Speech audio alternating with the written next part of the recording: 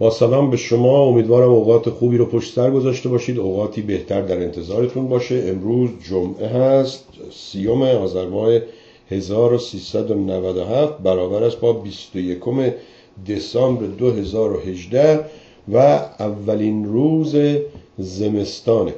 آقای دکتر شهرام ایران بومی از آلمان یک چیزی رو فرستادن خیلی جالبه. میگه برای اینکه مساوات رعایت بشه و اینکه اسم طولانی ترین شب رو گذاشتند یلدا و یلدا هم اسم خانم ها هست. ما آقایون هم می‌خوایم اسم روز اول تابستون رو که طولانی ترین روز هست بذاریم چی؟ الان بهتون نشون میدم. یک لحظه صبر کنید. بله آمد نوبهار. اینه. اولا امشب شب یلدا بر شما خجسته باد و میگه که دکتر دکتر ایران بومی وکیل دادگستری در آلمان هپی یلدا چه عیدی است یلدا؟ همچون نوروز تنها مهربانی است و دوری از خشونت شادی با هم بودن و انسانیت را ستودن. و میگن سازمان جنبش مردان در اعتراض به نامگذاری اولین شب زمستان به نام یلدا تصمیم گرفت که اولین روز تابستان را که بلندترین روز سال است به نام یدالله نامگذاری کند. حالا واقعا نمی‌دونم این شوخیه یا جدی. بذارید من همین اول برنامه هم از سعید تشکر کنم که راجع به مخارج شب یلدا ما اون روز سوال کرده بودیم برامون فرستاد و گویا میگن در ایران حدود هفتاد تا صد هزار تومن میشه ولی یه نکته جالبی بود. بهش گفتم والا یا ما خیلی فقیر بودیم توی شیراز توی ایران. ما شب یلا جشنی نمی گرفتیم بیدار نمی نشستیم تا انار بخوریم و نمی‌دونم آجیل بشکنیم و فلان اینها. بله. میگه که خانم لیلا میلانی خانم میلانی خیلی خوش آمد قبل از اینکه سال نو بشه و ایام کریسمس خوشحالم که شما بابا آشتی کردی و برنامه رو می‌بینی. الان دوباره جیغ می‌زنه میگی من چند بار به توی خنگ بگم؟ من با تو قهر نیستم. گاهی وقتا عصبانی میشم تماشا نمی‌کنم. به همون میگن قهر بودن. در اصل خوشحالم اینجا هستید خوشحالم اون روز برنامه رو پسندیدید. خوشحالم عیب و ایرادا رو می‌گیری. خانم لیلا میلانی به من میگه شما هر مهمونی میاری اگه باور داری این مهمون دیروز هم اینجا بوده و ما می‌شناسیم وظیفه شما هست که معرفیش کنی. گفتم ما هیچ وظیفه ای نداریم. این کلمه وظیفه رو بندازید دور. وظیفه باید از اونایی که حقوق می‌گیرن بخواید. منی که اینجا دارم برای شما یه کار مجانی انجام میدم کارم اینه. دوست داری نگاه کن. دوست نداری نگاه نکن. ولی حق داری شد من به این دوستان میگم وقتی میاین دو دقیقه سه دقیقه خودتون معرفی کنید یادشون میره. چرا یادشون میره؟ من الان اینجا نشستم منتظر یه قهرمانی از ویتنام این بنده خدا به خاطر اینکه امکانات نداره با تلفن خودش تماس گرفت میگم آقا این تصویر و اینا خوب نیست اصلا قطع میشه. گفت خب بذار برم اونور با تلفن همسایم تماس بگیرم. رفت اونور ما نشستیم اینجا منتظر پنج دقیقه 6 دقیقه قبل از برنامه. میگه من هر چی زنگ می‌زنم نمی‌گیره. میگم اول باید قبول کنی. من برای شما فرستادم که دوست هستیم بعد تماس بگیریم. بدون دوستی تماس برقرار نمیشه. قبل از همه چیز از آقای خسرو بهرامی بسیار ممنونم. پیام سوم ایشون رو دریافت کردم. آمریکایی‌ها میگن فروت فول یعنی پر از میوه. و خیلی ممنون. شما لطف دارید. متشکرم. ضمنا به دوستان کلیمی و یهودیتون که می‌خوان شکایت کنن اول بهشون بگید که اسم اون سازمان رو یاد بگیرن. اسم اونجا FFC نیست. اسم اونجا هست FCC ببینید Federal Communications Commission. من حداقل دو روز یه بار از جلو ساختمونشون رد میشم. اینم شماره تلفنشون اینم اگر این دوستان گوش چی میگن گنگ و کر و لال هستن می‌تونن به این وسیله صحبت کنن. اینم خط ویدیو فونشون که من همچین چیزی تا حالا ندیده بودم. ASL ویدیو فون. کسی می‌دونه این دیگه چیه؟ و اینم فکسشون. آقا من از شما ممنونم ولی شما نمی‌خواد برای من دفاع کنی. در صورت ممنون و متشکرم برای شما بهترین ها رو در این ایام آرزو دارم. امیدوارم سالی نو سالی خوب باشه برای شما. و ما همینی که هست. 20 سالم هست داریم این کار رو انجام میدیم. حالا شاید این دوستان یهودی شما سبب خیری شدن شکایتی کردن. FCC هم به من گفت آقا دیوانه ای بیا برو برای این و اون کار کن پولتو در بیار مثل دیگر ایرانیا خوش باش. هر جا نشستی بگو این ایرانیا عقب افتاده هستن ایرانیا نفهمن فلانن. برو آقا خوش باش دیوانه ای نشستی اینجا. در اصلات بازم ممنون آقای خسرو بهرامی. خب امروز همه هستن. He is lucky to be in Vietnam. خیلی بهتر از ایرانه. آفرین. همینو من بهش گفتم. این دوستمون برای من یه نامه ای نوشته و من اگر ارتباط برقرار نشه براتون می‌خونم. بهش گفتم ببین من ترجیح میدم شما خودت بخونی چون میگن سخن که از دل برایت لاجرم بر دل نشیند. اون موقع هم دوستان اگه خواستن کمک کنن ایمیل شما هست PayPal ت هست مستقیما بهت کمک می‌کنن و من امیدوارم این کار رو انجام بدن. حالا بذارید ببینم پیداش می‌کنم. بله. ایشون چون دیگه نوشته و فرستاده و اینها من براتون می‌خونم. می‌بینید من اسکایپ رو روشن گذاشتم هنوز ارتباطی برقرار نیست. و اگر ایشون بتونه البته من یادم را به ایشون میگم شما می‌تونی با اسکایپ خودت از اون سیستم همسایت یا roommate ت استفاده کنی و تماس بگیری. میگه اطلاعیه درخواست حمایت و کمک. دوستان عزیز من امید ستایش پور هستم. در کشور ایران متولد شدم. در حال ای... دیگه می‌دونیم که ایرانی هستی. در حال حاضر در کشور ویتنام زندگی می‌کنم. من سی ساله هستم و 18 سال است که ورزش می‌کنم و در رشته پاور لیفتینگ به قهرمانی رسیدم. من خودم حقیقتا نمی‌دونم پاور لیفتینگ چیه بهشون گفتم این پاور لیفتینگ با وزنه برداری و bodybuilder و اینها فرق می‌کنه. ایشون گفت بله حالا امیدواریم تو برنامه آینده بیان اصلا اینو توضیح بدن. اصلا از این طریق بتونن پول بسازن مربیگری کنن trainer خصوصی این و اون بشن. ما همش نباید بچسبیم به دولت. اونم دولتی که می‌دونیم جانی خائن دزد هی بگیم آقا چرا حق ما رو نمیدی؟ خب اگه می‌داد که دزد نبود که. اگه می‌داد که جانی نبود که. ولی من تعجبم از خودمه. از شماست که ما از آدمای جانی انتظار داریم خوب باشن عادل باشن بخشنده باشن. نیستن ها حالا چون نیستن من و شما. پریشب من با یک خانمی به نام شکوه ارشادی صحبت می‌کردم از رادیو آزادگان سوئد. با وجودی که ایشون طرفدار پهلوی است طرفدار سلطنت هست ولی فهمیدم وقتی که منطقی باشی آقا خانم ما می‌تونیم با هم مخالف باشیم. ولی با هم صحبت کنیم. و با هم صحبت می‌کردیم. اینا ایشون یه مصاحبهشون رو دیدم اولا با این آقای حمزه پور بعد یه مصاحبهشون رو دیدم با افرادی که در یونان پناهنده هستن و اینها و ایشون حرف خوبی می‌زد به این دوستان. میگو آقا این آخوندا پدر سوخته قاتل فلان اینها ولی این جوونی که بلند یا این آقایی که بلند میشه از سوئد میره از ایران زن می‌گیره میاره اونجا زنه رو اونجا به فحشا می‌کشه بعد ولش می‌کنه دوباره میره یکی دیگه می‌گیره میاره این که دیگه آخوند نیست که. در هر صورت. برگردیم نامه امید ستایش پور رو براتون بخونم و میگه که 18 سال است که ورزش می‌کنم و در رشته پاور لیفتینگ به قهرمانی رسیدم. روسیه 2016 قهرمان پاور لیفتینگ کاپ جهانی روسیه 2016 قهرمان پاور لیفتینگ دو بار نوشته. کاپ جهانی هندوستان 2009 قهرمان پاور لیفتینگ آسیایی ازبکستان 2008 قهرمان پاور لیفتینگ آسیایی فیلیپین 2008 قهرمان قهرمان پاور لیفتینگ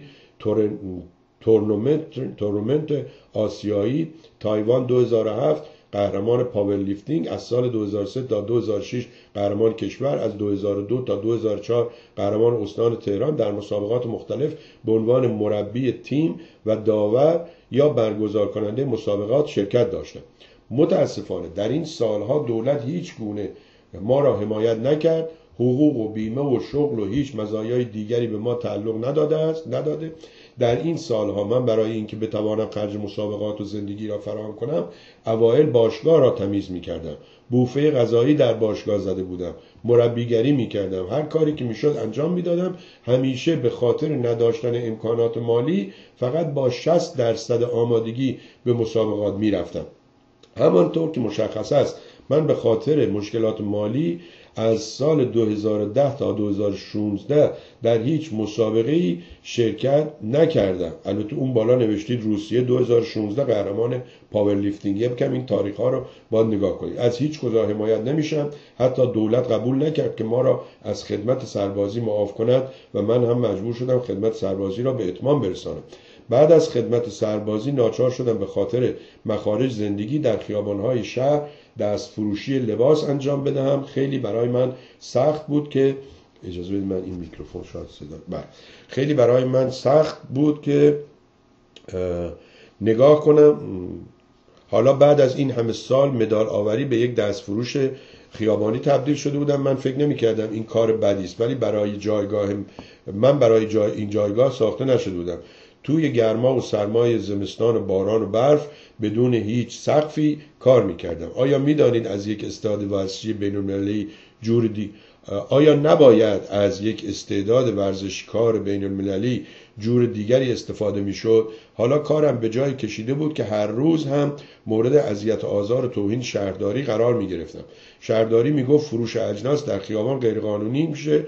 یک روز بعد جوری بهم توهین شد. دلم خیلی شکست و رفتم به عنوان درد و دل با کلی روزنامه ها و مجله ها و خبرنگاری خبرگزاری صحبت کردم و بعد از اون ماجرا بعد از اون ماجرا شبکه مستند صدا و سیما از من و چند ورزشکار دیگر که شبیه به مشکلات من را داشتند فیلم مستندی به نام راه ناتمام ساختند. اگر در گوگل به زبان فارسی اسم و فامیل من رو چک کنید یا تایپ کنید مصاحبه ها و یک مستند پر از سانسور در آنجا موجود است. خیلی جالب بود که در آن مستند رئیس فدراسیون ایران می‌گوید امید ستایش پور ورزشکار من نیست ورزشکار خیابون است. اون راست می‌گفت. وقتی من پرچم ایران رو بالا می بردم و اون وقتی من پرچم با ایران رو بالا می بردم اون بودجه فدراسیون رو بالا می کشید من ورزشکار خوبی بودم. من به خودم قول داده بودم که حتی با دست فروشی برای مسابقات جهانی شرکت کنم و برای کشورم مدال بگیرم که بعد از شش سال دوری از ورزش قهرمانی با کلی سختی در سال 2016 به صحنه مسابقات برگشتم. قهرمان کاپ آسیایی و قهرمان کاپ جهانی 2016 شدم. یکی از فدراسیون های جهانی که یکی از فدراسیون های جهانی می باشد شدم. چهار بار به مسابقات بین المللی به صورت خصوصی اعزام کرد. مربیگری تیم رو انجام دادم. بعد من چون می‌خواستم با خود ایشون صحبت کنم اینو تا آخر نخوندم.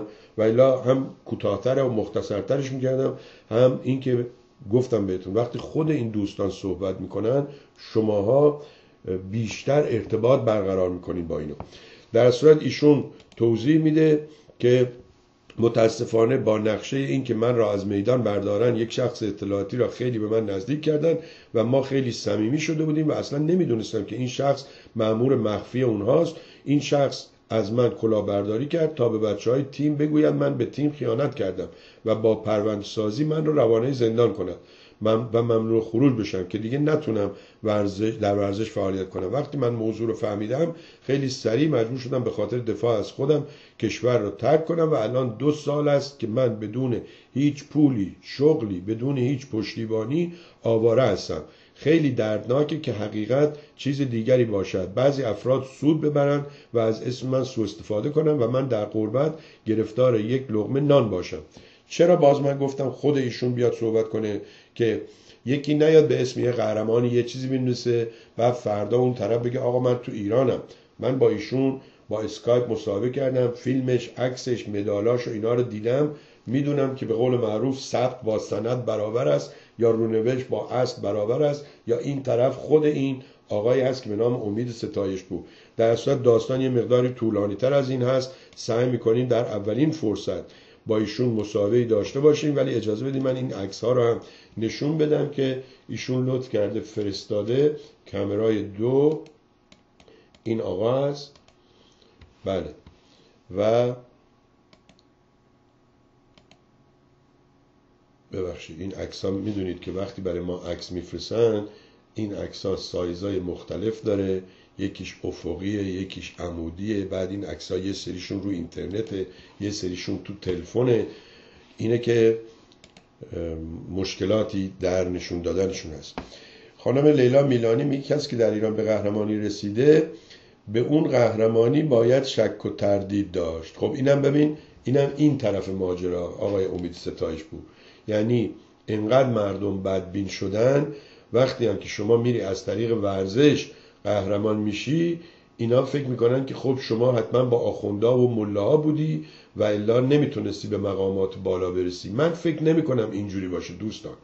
من فکر نمی‌کنم اینجوری باشه.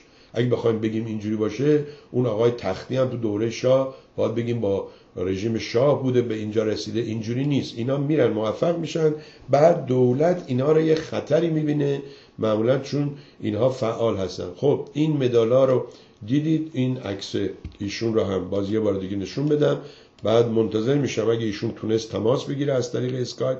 باز اسکایپ رو روشن می‌ذارم که با هم صحبتی داشته باشیم. اگر نه در روزهای آینده. ولی بذارید من ایمیل ایشون رو براتون بخونم و نشون بدم که شما اگر خواستید کمک کنید با خودشون تماس بگیرید و ما این ماجرای به اصطلاح کمک جمع کردن و کمک پخش کردن و اینها رو خیلی دوست نداریم. دلیلش اینه که من باید اینو بگیرم تو حساب بنویسم بعدا برای ایشون بفرستم. بعد مخارجی داره بعد مشکلاتی داره بعد از چند سال اگه یکی آمد گفت آقا این پول مال کی بوده؟ چرا این به تو پول داده؟ اینجوری شده دیگه الان. چرا شما پول برای اون فرستادی؟ اون وقت حالا آب بیار و حوز پر کن. ایمیل ایشون همین جوری که میگیم امید ستایش پور at gmail.com دارم نشون میدم. پور رو هم P O U R ننویسید. P O O R بنویسید. البته اینجوری که می پور یعنی فقیر توی آمریکایی. ولی خب این فامیلی یعنی پسر. بله در دوران تختی همه چیز فرق داشت. خب این ایرانی هست. نکنه بچه نه دیگه این که حرفا رو نزن. نه اینجوری نکن. خانم لیلا یک کمی مهربان باش. خب بله. بذارید بخونیم دوباره ببینیم که چی میشه اینجا. این امین آقا هم میره میره پیداش نمیشه. سلام جناب سربی. امروز با ایران صحبت می‌کردم. پسته کیلوی دیویست و چهل هزار تومان و انار. چهارده هزار و شیرینی خوش 26 هزار نون خامه یا نان خامه کیلوی 80 هزار تومان. حقوق متوسط یک ایرانی ماهی یک و نیم میلیون تومان. تو خود حدیث مفصل بخوان از این مجمل. خب tell him to ask money. Go fund آها باری کلا باری کلا آقای امید این خانم لیلا میلانی میگه برو روی وبسایت می یعنی به من پول بدید به من کمک کنید. یه وبسایتی خیلی ساده بدون هیچ خرجی. شما یه وبسایتی را میندازی داستانتو میگی حتی ممکنه افراد خارجی تمام دنیا کمک کنن. بعد اون سازمانه اون شرکتی که این پولا رو می‌گیره یه پولی ور میداره باقیشو برای شما میفرسته. در هر صورت اینی که به دوستان راهنمایی می‌کنیم کار خوبیه ولی اینجوری نباشه که به این وسیله فقط خودمون رو گفته باشیم خب ما که بهش کمک کردیم دیگه. سربی بگه من که دیگه بهش کمک کردم برنامهش پخش کردم. شما بگی من که بهش کمک کردم راهنماییش کردم. تا اونجایی که می‌تونیم اگر دستمونم می‌رسه حالا به جایی که دو کیلو پسته امشب بخوریم و فردا وزنمون زیاد بشه و اونایی که تا پسته می‌خورن بادم می‌خورن صورتشون جوش می‌زنه فلانا یه, پ... یه کیلوشو بخورن یه کیلوشو کمک کنه این از این. وقتی که با آقای سعید خان عزیز از کالیفرنیا امروز صبح کلکل می‌کردم راجع به اینکه ما مثل اینکه خیلی فقیر بودیم چون ما اصلا یلدا نداشتیم. و قبلا هم بهتون گفتم ما شب چهارشنبه سوری همچین تو خیابونا برو دم اینا نبوده که البته اون نشون میده خیلی هم فقیر نبودیم چون گویا فقیرها می‌رفتن عجب فرهنگی. در هر صورت ایشون گفت والا ما هم نمی‌رفتیم. حالا این آقا بچه یه قاضیه. گازی نه قاضی. بعد میگم خب اگه این نمی‌رفته شب یلدا نداشته ما نداشتیم خب این شب یلدا پس چرا نبوده؟ حالا نبوده الان هست. ولی ایشون میگه یه حرف قشنگی زد. میگه اگر شب یلدا دلیلی باشه برای مخالفت با آخوندها و دلیلی باشه برای شادی مردم من I go for it. یعنی میگم خب حالا سوال کنیم. امشب شب یلدا شما که خودتون میگید تمام این آخوندا توی میدون توی بازار صادرات و واردات توی خرید فروش بازار دست دارن. وقتی خرید زیاد میشه به نفع کی میشه؟ پس به نفع آخونده و ملاها میشه. بعدم وقتی مردم میرن خونه میشینن آجیل مشکل گشا و نمی‌دونم شب یلدا می‌خورن و هندونه می‌خورن و انار می‌خورن این مخالفت با آخونداست من نمی‌فهمم. بهتون گفتم من آدم نفهمی هستم نادان هستم کمدان هستم ولی بعضی چیزهایی که شما میگید من نمی‌فهمم. آقا این آمریکایی ها میگه I don't understand. بهش هم بر نمی‌خوره. تازه وقتی هم به یکی حرف می‌زنی اگه اون یه چیزی متوجه نشد اینا به خودشون اجازه میدن که به اون بگن you don't understand. ولی اگه به ایرانی به یه نفر گفتی تو نمی‌فهمی میگی نفهم جد و آباد تو میگم. آقا خب تو نمی‌فهمی. من از برق و الکتریسیتی اگه بگم تو نمی‌فهمی. ولی مگه می‌تونی به کسی بگی نفهم؟ I can live without پسته for rest of my okay کمک این کن ایمیلش نشون دادم اذیت نکن. ایمیلش رو اینجا می برای دوستان دیگه بذارید چی بود؟ امید ستایش پور. کجا گذاشتم؟ این ایمیل رو می‌ذارم رو فیسبوک. دوستان با آه مثل بله خودشه ببینیم. می‌تونیم تماس بگیریم و یک لحظه آهان خوب شد. بله بله بله. اجازه بدید که من تصویر ایشون رو بدم به سیستممون.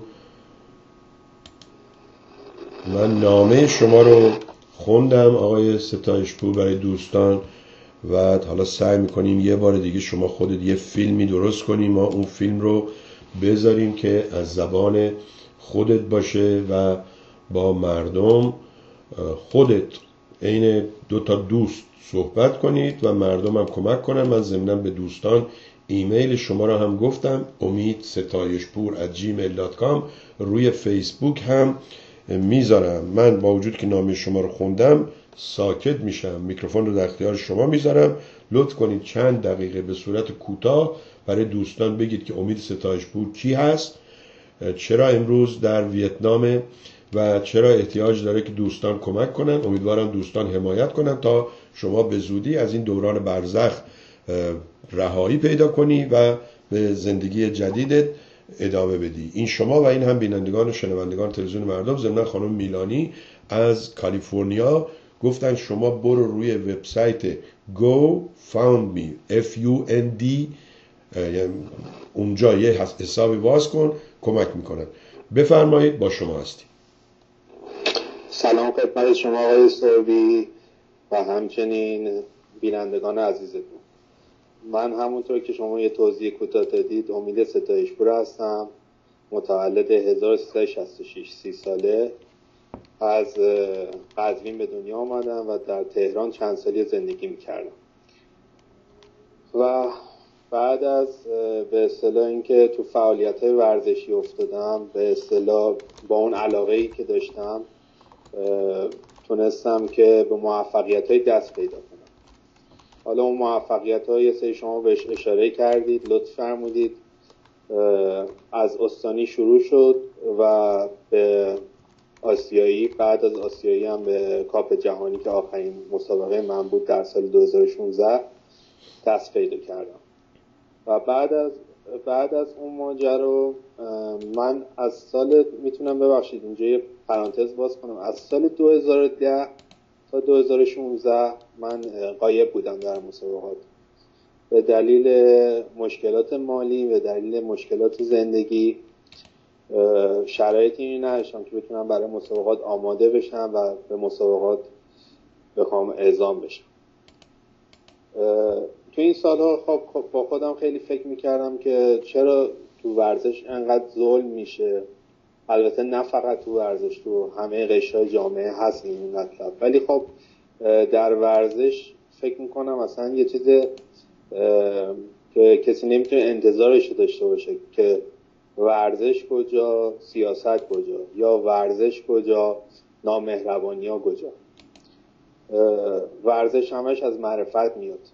خب دوستانی متاسفانه دارن کار می‌کنن که از این معرفت به اصطلاح می‌تونم بگم بوی نبود.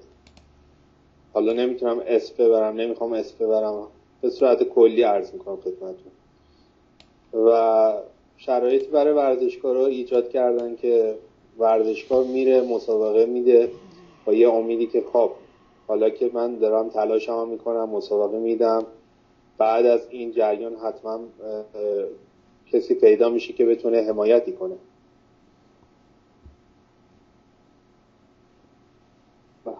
ببخشید. بتونه حمایتی کنه.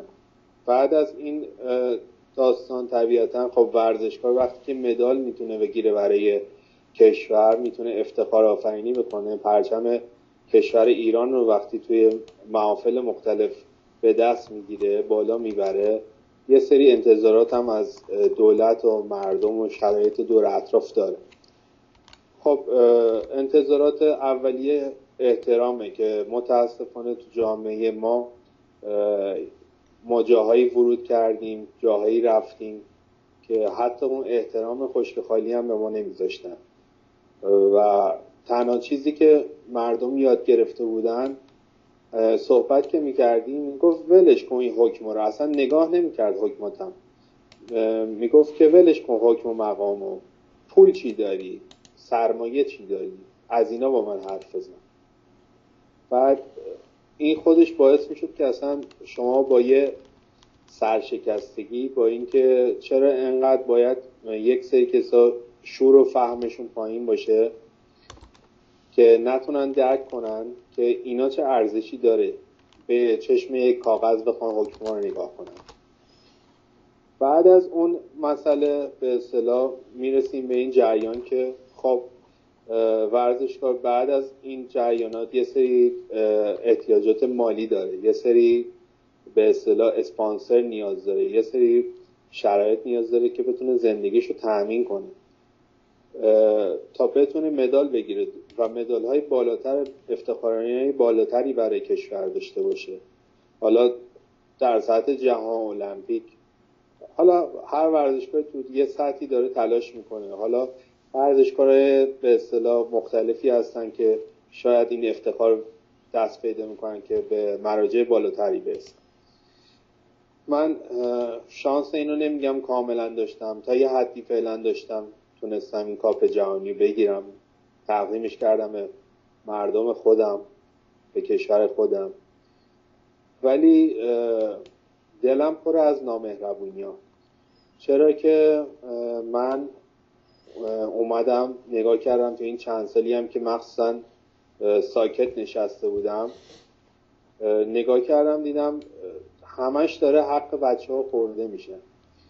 همش داره از ورزشکار سوء استفاده میشه. خب یکی از چیزایی که سوء استفاده میشه فدراسیونا زمانی که می‌خوان ورزشکارا رو اعزام کنن میگن ما بودجه نداریم. اگر می‌خوای به این مسابقه اعزام شی هزینه شخصی خودتو باید پرداخت متاسفانه هزینه شخصی میگی خب من باید چه مراحلی انجام بدم؟ میگن که اگر می‌خوای این کار رو انجام بدی مدارک تو برای ما بیار. بعد مثلا شما چه می‌دونم من البته مثلا یه چیزی دارم با دلار مثلا هزار تومنی دارم میگم مثال برای شما می‌زنم. مثلا میگن تا همین ویتنامی که خودم هستم مثلا چهار میلیون. تومن چهار میلیون تومن شما می‌بینی هزینه خودت کلا. یعنی بری اونجا رفت آمد کنی مسابقت رو بدی ثبت نام شی هتل همه چی.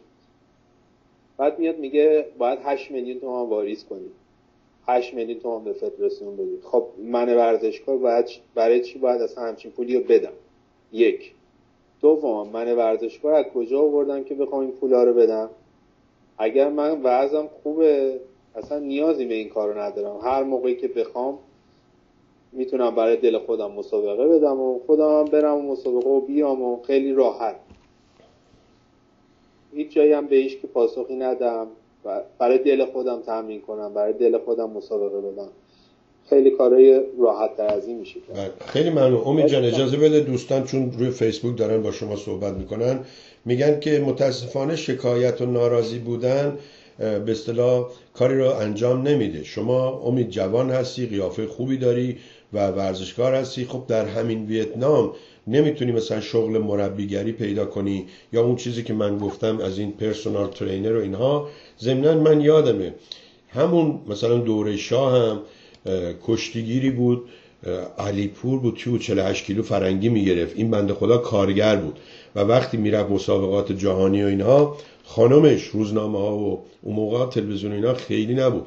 روزنامه مثلا کیان ورزشی اینا مصاحبه می‌کرد می‌گفت وقتی این میره ما از لحاظ مخارج منزل در مزیقه هستیم. متاسفانه وقتی که دولت ها دیکتاتوری هستن همه چیز رو میان دولتی می‌کنن و این دولتی بودن شروع همه مشکلات. همینجا من دیروز رفتم یه جایی یک گواهی یک ریکوردی بگیرم یک ساعت منو معطل کرده. برای یه چیز یک دقیقه ای برای که دولتیه. اگه اینو بدنش دست شرکت خصوصی شرکت خصوصیه از یه دقیقه اینو میاره تو ده ثانیه که منو بفرسته بیرون پنج نفر دیگرم تو همون یک دقیقه انجام بده. الان همینجا که ما صحبت می‌کردیم دوستان میگن که در رژیم جمهوری اسلامی این آقا نمی‌تونه به مقامی برسه مگر اینکه با خود رژیم باشه. شما به اونایی که این فلسفه رو دارن چی میگید و جوابتون برای این دوستان چی هست؟ متاسفانه بله شما درست فرمودید فرمایش شما درست هست ولی اگر دوستانی دارن احسان نظر می‌کنن راجع به این موضوع که بله اگر ورزشکاری می‌خواد موفق شه باید تقریبا با جمهوری اسلامی کار کنه باید دولتی کار کنه. این قضیه درست هست ولی همه ورزشکارا این کار رو نمی‌کنن. چرا نمی‌کنن؟ به خاطر اینکه ورزشکار یه تقریبا یه معرفت خاصی داره یه به اصطلاح شرافت خاصی داره یه وچه خوبی تو جامعه داره. من من نوعی اگر بخوام بیام برم همچین کاری بکنم حتی به خاطر پول. بیام برم همچین کاری بکنم یک عمر از اون چهره اجتماعی از اون شخصیت من از شخصیتی که مردم از من می‌شناسن من به دور میشم. چرا؟ به خاطر اینکه صد درصد زمانی که این کارو بکنم جمهوری اسلامی هم از من یه سری کارها می‌خواد. مثلا نمونهشو داشتیم. آیه رضازاده البته چیزی که من میگم همه مردم دیدن. اتفاقا منم می‌خواستم بله منم می‌خواستم ایشون رو مثال بزنم. اجازه بدید بریم آلمان. آقای اکبری نوشته که برای من عجیبه که شما چرا ویتنام را انتخاب کرده اید. اگه در کشوری مثل آلمان بودید زندگی شما با الان زمین تا آسمان تفاوت داشت. شما چرا ویتنام انتخاب کردید و وقتی رفتید اونجا چرا اونجا ماندگار شدید؟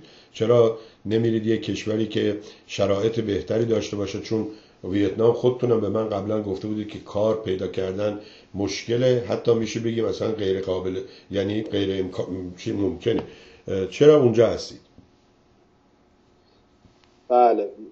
من زمانی که متوجه شدم که اون شخصی که به اصطلاح خودشو دوست ما جلوه می‌داد و خودشو به ما نزدیک کرده بود زمانی متوجه شدم که این شخص از آدمهایی هست که در به اصطلاح اطلاعات یه دستی داره به هر حال یه کاری می‌کنه اونجا یه رفت آمدی در اونجا داره و یه پرونده سازیایی برای من کردن. به دلیل اینکه یک پولی از من گرفتن پول بچه ها بود چون من داشتم تیم میبردم به مسابقات. من یه دبیر فدراسیون شده بودم در ایران.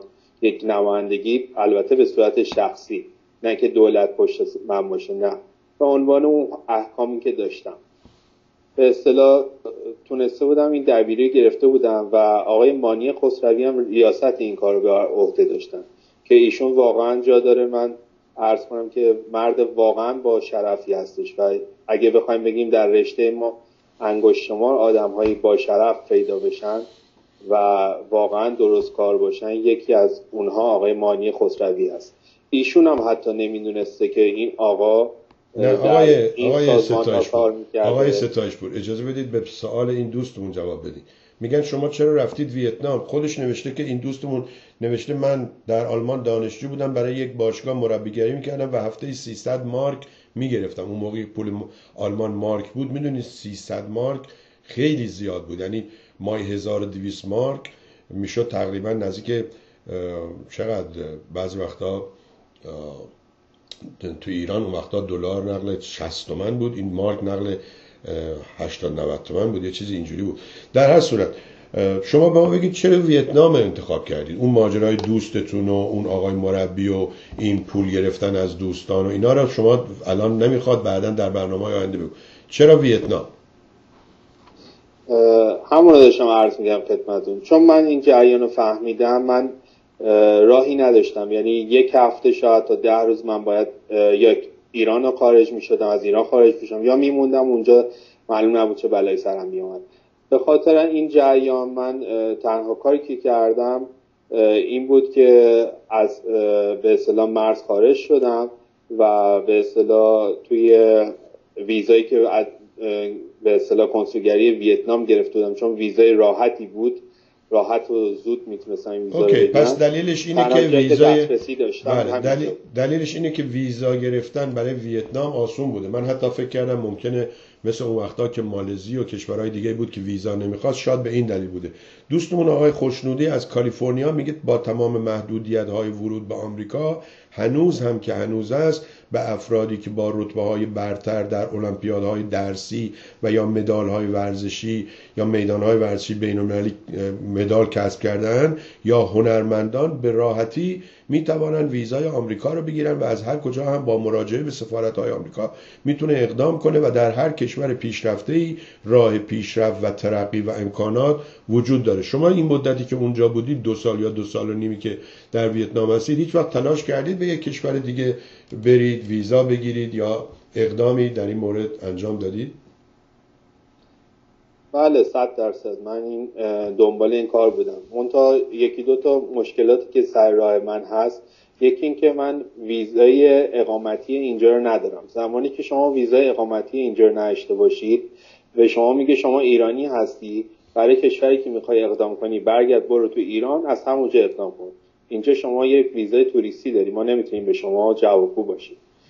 من چند بار چند تا سفارت ها این کارو کردم نه نه نه اجازه بدید من براتون اینو بگم. برای سفارت آمریکا اتفاقا نمی‌تونن اینو بگن.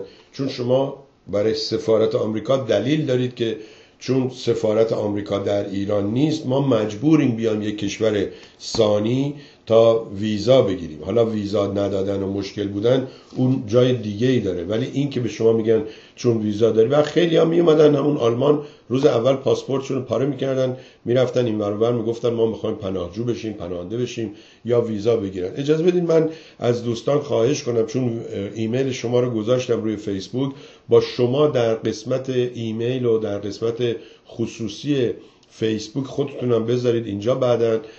تا باهاتون تماس بگیرن. شاید کسی راه حلی قانونی بدونه بتونه شما رو راهنمایی کنه. بعضی وقتا ما مشکلمون اینه که یه تصوراتی داریم و به خاطر اون تصورات خودمون رو محدود می‌کنیم.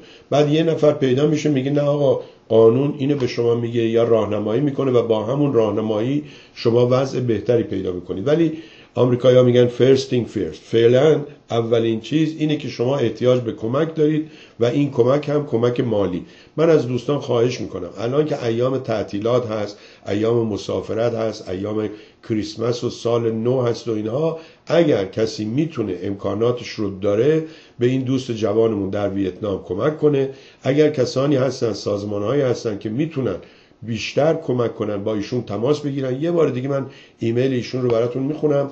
امید ستایش پور gmail.com و خود آقای ستایش پورم فیسبوکشون رو روی صفحه ما می‌ذارن بعدا باشون تماس بگیرید و امیدوارم در برنامه های آینده احتمالا بعد از سال نو اینها ما باز هم با این دوستمون صحبت کنیم و شرایط بهتری داشته باشه من اون نوشته شما را روی فیسبوک هم می‌ذارم یا خودتون می‌تونید قرار بدید در قسمت کامنت ها تا دوستان عکسای شما رو ببینن نوشتهتون رو بخونن و باز هم از اونا خواهش می‌کنم که به شما کمک کنن. از شما ممنون هستم که آمدید و چون می‌دونم خیلی مشکله برای یه قهرمان برای یک مقصد جوون که فکر می‌کنه داره غرور خودش رو میشکنه.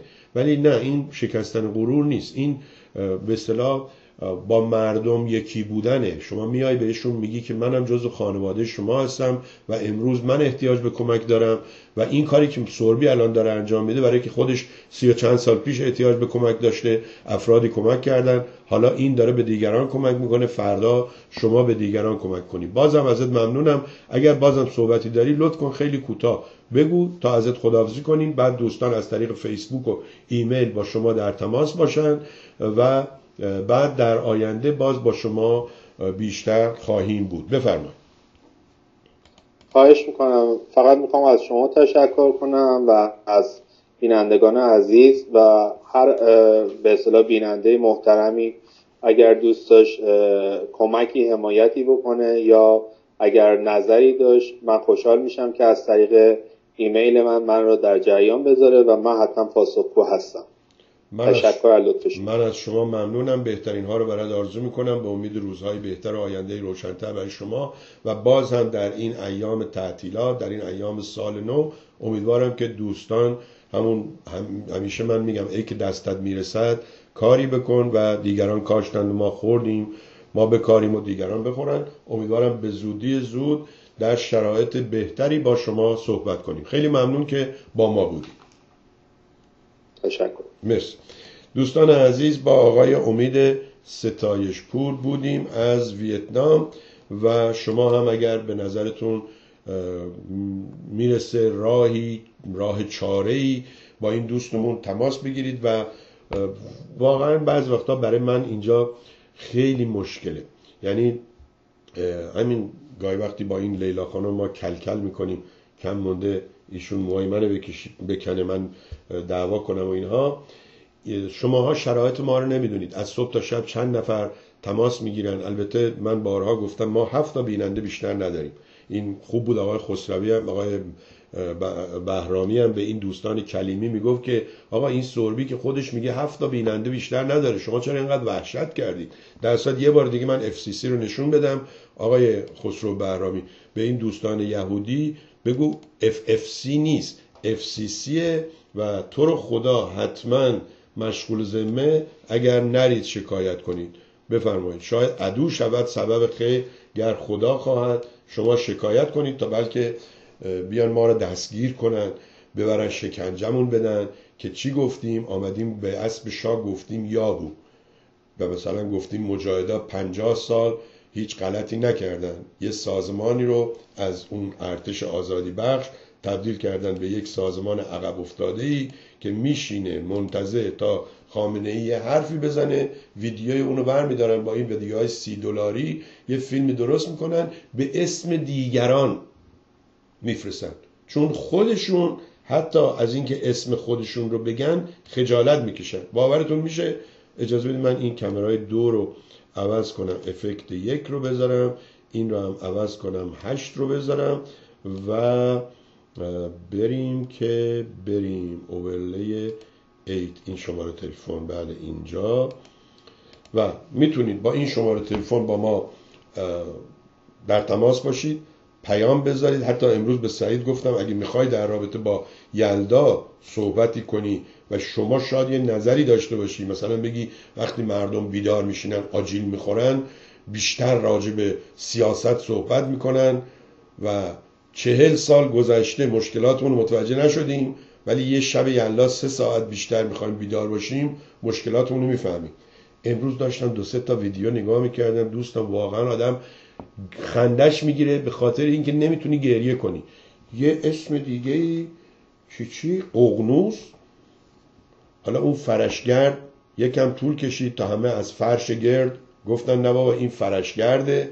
حالا یه چیز دیگه شروع شده ققنوس بعد من نمی‌دونم چرا اینا وقتی می‌خوان یه جنبشی یه حرکتی درست کنن میگردن یه اسمی که اصلا ناآشنا باشه برای ایرانیا را میندازن. و اینا نمی‌فهمن. شما قدم اولتون هم اشتباه برمیدارید. اون آقای نجات و دیگران آمده بودن گذاشتن رنسانس ایرانی. آقا رنسانس ایرانی چیه؟ یه اسم درست حسابی در هر صورت. اون یکی دیگه سکولار فلان. تا میگی سکولار فلان خیلی ها اصلا نمی‌فهمن یعنی چی. بعد وقتی نمی‌فهمه یعنی چی نمیاد داخلش. روش هم نمیاد سوال کنه. چون اگه سوال کرد طرف هنوز شما نمی‌دونی سکولار یعنی چی؟ خودش هم نمی‌دونه سکولار یعنی چی. در صورت برید دنبال ققنوس اقیانوسه اقیانوسه بله. منم این اسم رو دیدم. خانم لیلا میلانی میگه منم این اسم رو دیدم. یه آدمی که تو دانشگاه کلمبیا یه دانشگاه خوب مال نیویورک مال این استیت اینجا هست. داره درس می‌خونه داره درس میده. میاد بازیچه دست این اطرافیان نادان رضا پهلوی میشه. و می میگه ما اومدیم یک گروهی درست کردیم به نام ققنوس یا آقای علی جوانمردی رو دیدم میگه ما یه گروهی درست کردیم. اولا این علی جوانمردی من نمی‌دونم وقتی شما تو Voice of America هستی شما نمی‌تونی بیا یه جنبش نمی‌دونم چی درست کنی که بخوای یه حکومتی رو توی کشور دیگه بریزی پایین. فردا یقت می‌گیرن بیچاره از اینجا میکننت بیرون ها. من حالا امروز بهت گفتم. هی شما میای میگی من اینجا حرفی که می‌زنم کاری ندارم با اون تلویزیونی که کار می‌کنم. اون تلویزیونه با شما کار داره. اون Voice of America میاد میگه شما کارمند دولت آمریکا هستی. یادتونه کامبیز حسینی رو کردن بیرون برای که دروغ گفته بود توی فرمش. گفته بود شما ثبت نام کردی برای سربازی. گفته بود بله فکر کرده بود ایرانه. بعد گفتن آقا نکردی برو بیرون. ببین چند تا رو تا کردن بیرون. آقای محمد تقی مصلحی یادته کردنش بیرون الان بیچاره گشنه گدا تو خیابون میخوابه. آقای سیاوش آذری یادته؟ دیگران یادته؟ چپ و راست. اینا رو کردن بیرون آقای علی جوان مردی تازه هیچ کدوم از اونا همچین کار و همچین حرفی نزده بودن. که حالا دیگه شما اومدی یه شورای انقلاب نمی‌دونم شورشیان بدبخت میندازنت بیرون. خب اینم از این. میگه my brother is musician. In Germany musician musician. In Germany and I'm American citizen he tried many time but couldn't get visa. همین دوست اون آقای صبری حسنپور یه دفعه یک کنگره بود اینجا کنگره ایرانیان و اینم دعوت شده بود و وقتی رفته بود نگذاشتنش بیان. خیلی هم هستن که اینجوری هم ولی یه جوون سی ساله ای من نمی‌دونم چرا بهش بگن نه. اقلا بره امتحان کنه. یعنی نمی‌دونم در صورت. این از این. I was not impressed by Omid's story. خب همینه دیگه. ببینید تفاوت بیننده ها اینه. شما با همسرتون با فرزندتون با دوستتون با همکلاسیتون با خواهرتون میری یه فیلم می‌بینی. میای بیرون میگی به نظر من همچین فیلم جالبی نبود. اون میگه من دو ساعت لذت بردم. این اختلاف عقیده است. دوست نداشتی؟ حمایت نکن. امیدوارم افرادی ایمپرس شدن جذب شدن خوششون اومده باشه حمایت کنن. کار ما اینجا اینه که ما این جنس رو در طبق اخلاص بذاریم به شما نشون بدیم. شما انتخاب کنید. به شما به زور نمیگیم به این کمک کن. اگر کمک نکنی بی وطنی و آقا ایمیل میفرسته طرف میگه اگر این را برای 20 نفر نفرسی شما حرامزاده هستی. اصلا آخه من نمی‌دونم اینا مغز دارن. تو مغزشون پهنه. چیه؟ من نمی‌فهمم. آقا با زبان خوب بگو اگر امکان داره برای دیگران هم بفرست. اونایی که تازه اینجوری میگن نمیفرستن تو که فوش میدی برات میفرستن. شاید هم نمی‌دونم شاید هم فوش که میدی میفرستن. ندونم مردم ما از شکم نمیگذرن. پسته 200 هزار تومنی هم صف می‌کشن می‌خرن و می‌خورن. دو تا هلو و دو تا انار می‌خرن 50 هزار تومن فیلم هم ازش می‌گیرن که گرون بود و خریدیم. معلوم نیست فیلم گرفتن شکایت کنن یا پوز بدهن. پیشگویی های آقای علی جوانمردی دیگه جوک شده. ایشان هر دفعه قول میده هفته دیگه رژیم کارش تموم میشه. ببین آقای جوانمردی کرده. این احساسات کردیش با این پیشگویی ها قاطی میشه. الان این ماجرای او راستی فهمیدید ترامپ چه حماقتی کرد توی دو سه روز گذشته؟ وزیر جنگش هم حالا وزیر جنگ دیگه اینجا نمیگن میگن وزیر دفاع. وزیر دفاع هم استعفا داد گفت من تا آخر فوریه میمونم. اینم تنها دلیلی که میمونن اینا واقعا مملکت رو دوست دارن. میگن ما نمی‌خوایم این ستون رو بکشیم و این خیمه بیاد پایین. وای میسیم تو برو یک کسی دیگر پیدا کن بیا که باهات هم عقیده باشه. یعنی چی هم عقیده یعنی مثل خود دیوونه باشه. البته طرف آقای این کیه فیلم می‌سازه؟ رابرت مور خدایا. مایکل مور. مایکل مور حرف قشنگی زد. گفت اینا نباید استعفا بدن برن. اینا باید بیان تو تلویزیون به دیگران بگن که این داره کار خطرناکی انجام میده. شما هم بیان دست به یکی کنیم اینو زندانیش کنیم اینو طبق قانون اون 25 طبق متمم 25 بگین این صلاحیت این کار رو نداره و یکی یکی گذاشتن رفتن. می‌دونید که وقتی که تیلرسون وزیر امور خارجه بود اون رئیس دفتر این آقای کی بود؟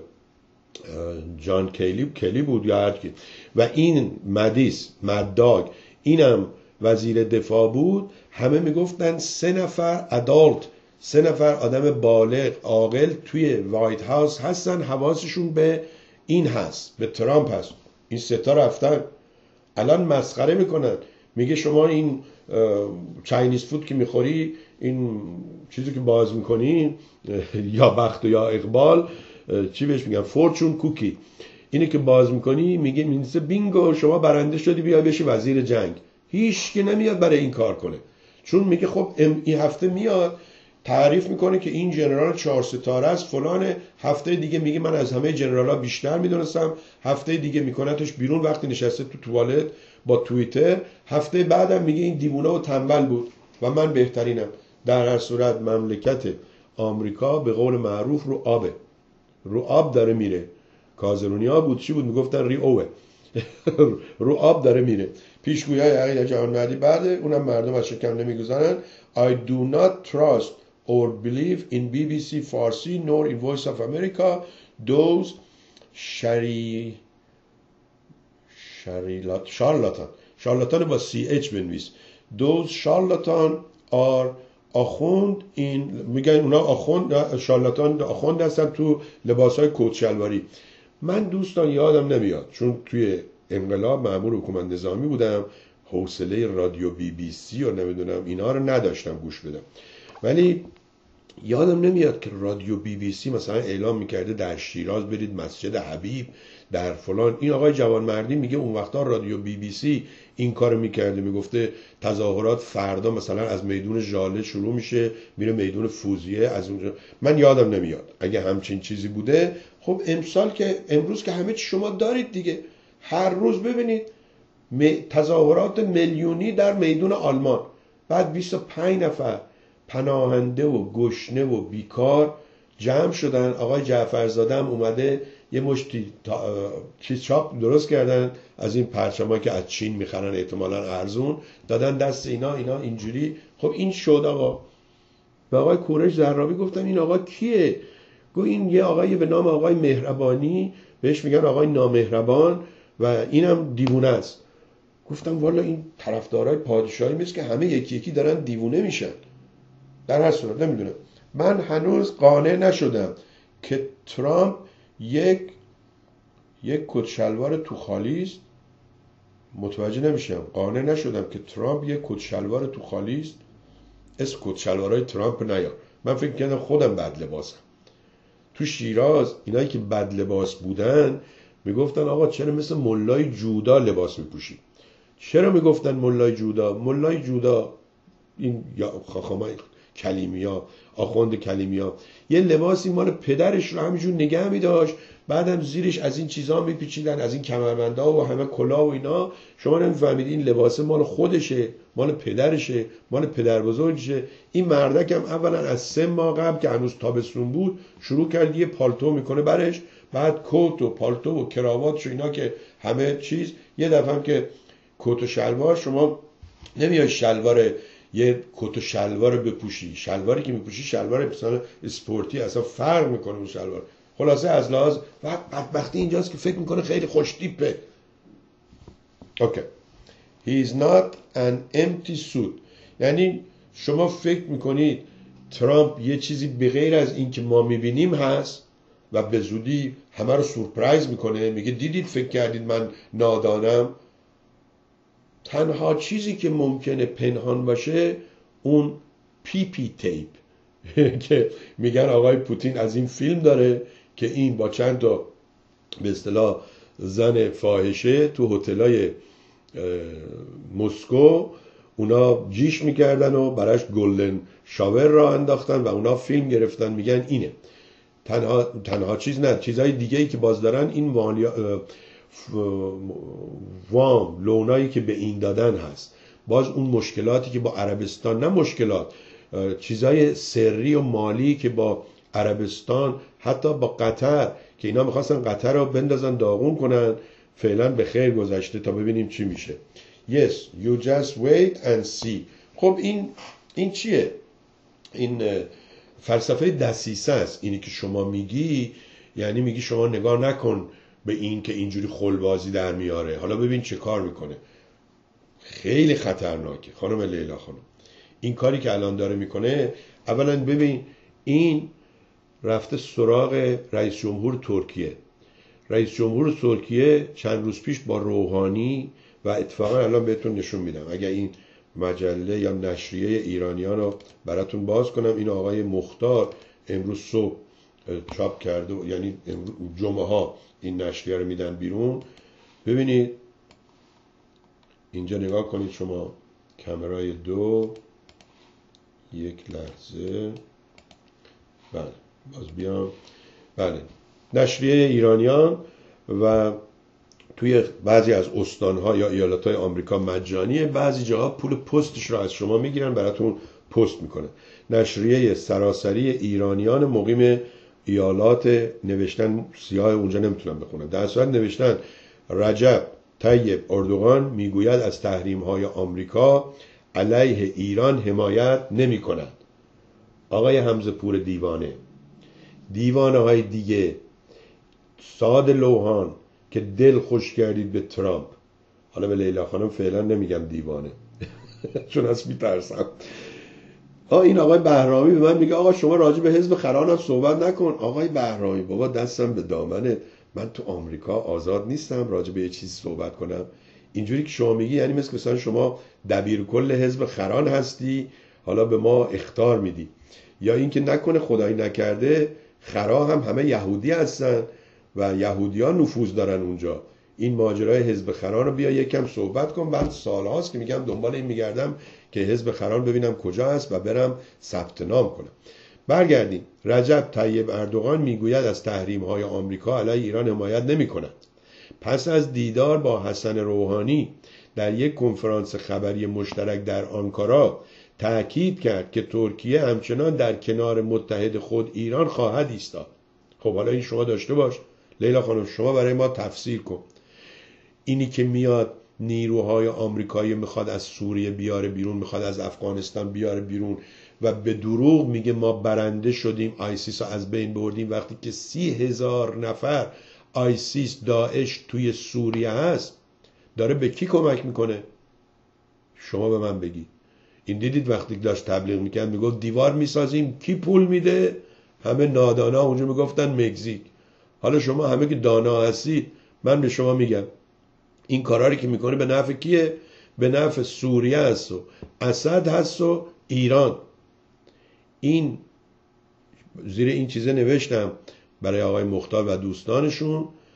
تا اول بگو با کیان زیستی. من آنگه بگویم که تو کیستی. اون وقتا می‌گفتن تا اول بگو با کیان دوستی. من آنگاه بگویم که تو کیستی. ولی این با کیان زیستی بهتره. چون میگن اونایی که دور برت هستن زندگی می‌کنن رو تاثیر می‌ذارن. خب این با اون دوسته اون با اون دوسته این وسط کلا رفته سر کی؟ سر این بنده خدایی که هول شدن طرف به من زنگ می‌زنه میگه آی سوربی بیا بریم دم وایت هاوس. میگم من هر روز رد میشم از این ور اونورش چه خبره؟ میگه می‌خوایم بریم به ترامپ بگیم که حمله کن. میگم این که گفته من می‌خوام حمله کنم. ولی تنها جایی که ممکنه حمله کنه رو سنگ توالت حمله قلبی. به کی می‌خواد حمله کنه؟ موندن تو کارشون. همین امشب ساعت دوازده شب آمریکا اولین کشور دنیا برای بار پنجم یا ششم در 25 سال گذشته بودجهشون رو میبندن نمی‌تونن نمی‌تونن. یعنی رسیدن به بنبست. اون وقت از فردا تابلو می‌زنن پارک بسته. از فردا تابلو می‌زنن شما میری ادارات دولتی بسته تا کی؟ تا سوم ژانویه که اینا برگردن از فردا سوار هواپیما میشه یا شاید هم امروز سوار هواپیما بشه میره فلوریدا دوباره دنبال معاملات مخفی و زیر آبی و اینها. 16 روز این مردک می‌خواد وکیشن بگیره. 16 روز. بچه مدرسای ایران 16 روز می‌گفتن آقا دیگه درس یادش میره. در کار خیلی خرابه. اگر نیمیتاسی چرا؟ عکسی از خودت در فیسبوک نداری. به کی هستی آقای آقای فرخ؟ چیزای اینجوری رو عزیز من تو قسمت خصوصی برای هم بنویسید. اگه می‌خواین دعوا کنید حتی تو رستوران ها دیدی طرف میگه بیا بریم بیرون. یعنی شما احترام یک مشتری رستوران رو هم به من نمی‌ذاری اینجا. هم اینجا می‌خوای یقه طرف رو بگیری دعوا کنی.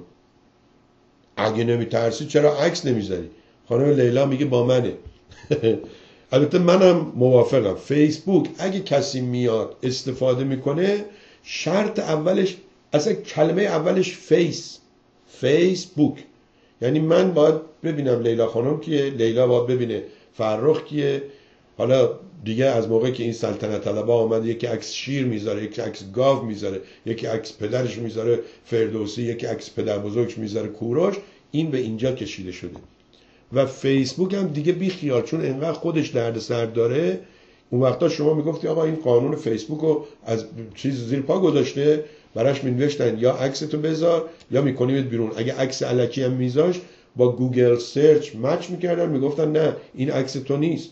تو اومدی عکس سربی رو گذاشتی. این عکس تو نیست. اومدی عکس رضا پهلوی رو گذاشتی. میکردنش بیرون. ولی الان خود فیسبوک اونم مثل ترامپ تا اینجاش توی باطلاق روسیه فرو رفته. معمولا ساعت سه روز جمعه ما با آقای امیر لادن هستیم ولی هفته پیش ایشون زرنگی کرد و پیش کرد و گفت من هفته آینده که نیستم. یعنی چی؟ یعنی این هفته نیست. این نوی ما کم کم داره میشه سه سالش ماشاءالله مثل توتی مثل بلبل حرف می‌زنه. حالا دیگه یاد گرفته وقتی یه چیزی می‌خواد قبل از اینکه بگه میگه من یه چیزی میگم شما نگید نه. یعنی 50 درصد حکمش رو خودش صادر می‌کنه. بعضی دیدید ازتون می‌پرسن که من یه سوالی از شما بکنم شما راست میگی؟ اولا شما سوال کن ببین من اصلا می‌خوام جواب بدم. بعد دیگه راست گفتن دروغ گفتن جواب دادن به من مربوط میشه. در صورت اینم همین جوره. Not again. من کاکو عکس خودمه. این آقای اکبر اکبری عکسی گذاشته بود. من چند مدت پیش بهش گفتم آقا عکس شما مثل شمایی زاده است. بعد حالا میگه که من عکس خودم من اصلا نمی‌دونم با شما هست یا نه ولی اینا رو به نظر من باید تو قسمت خصوصی بنویسیم.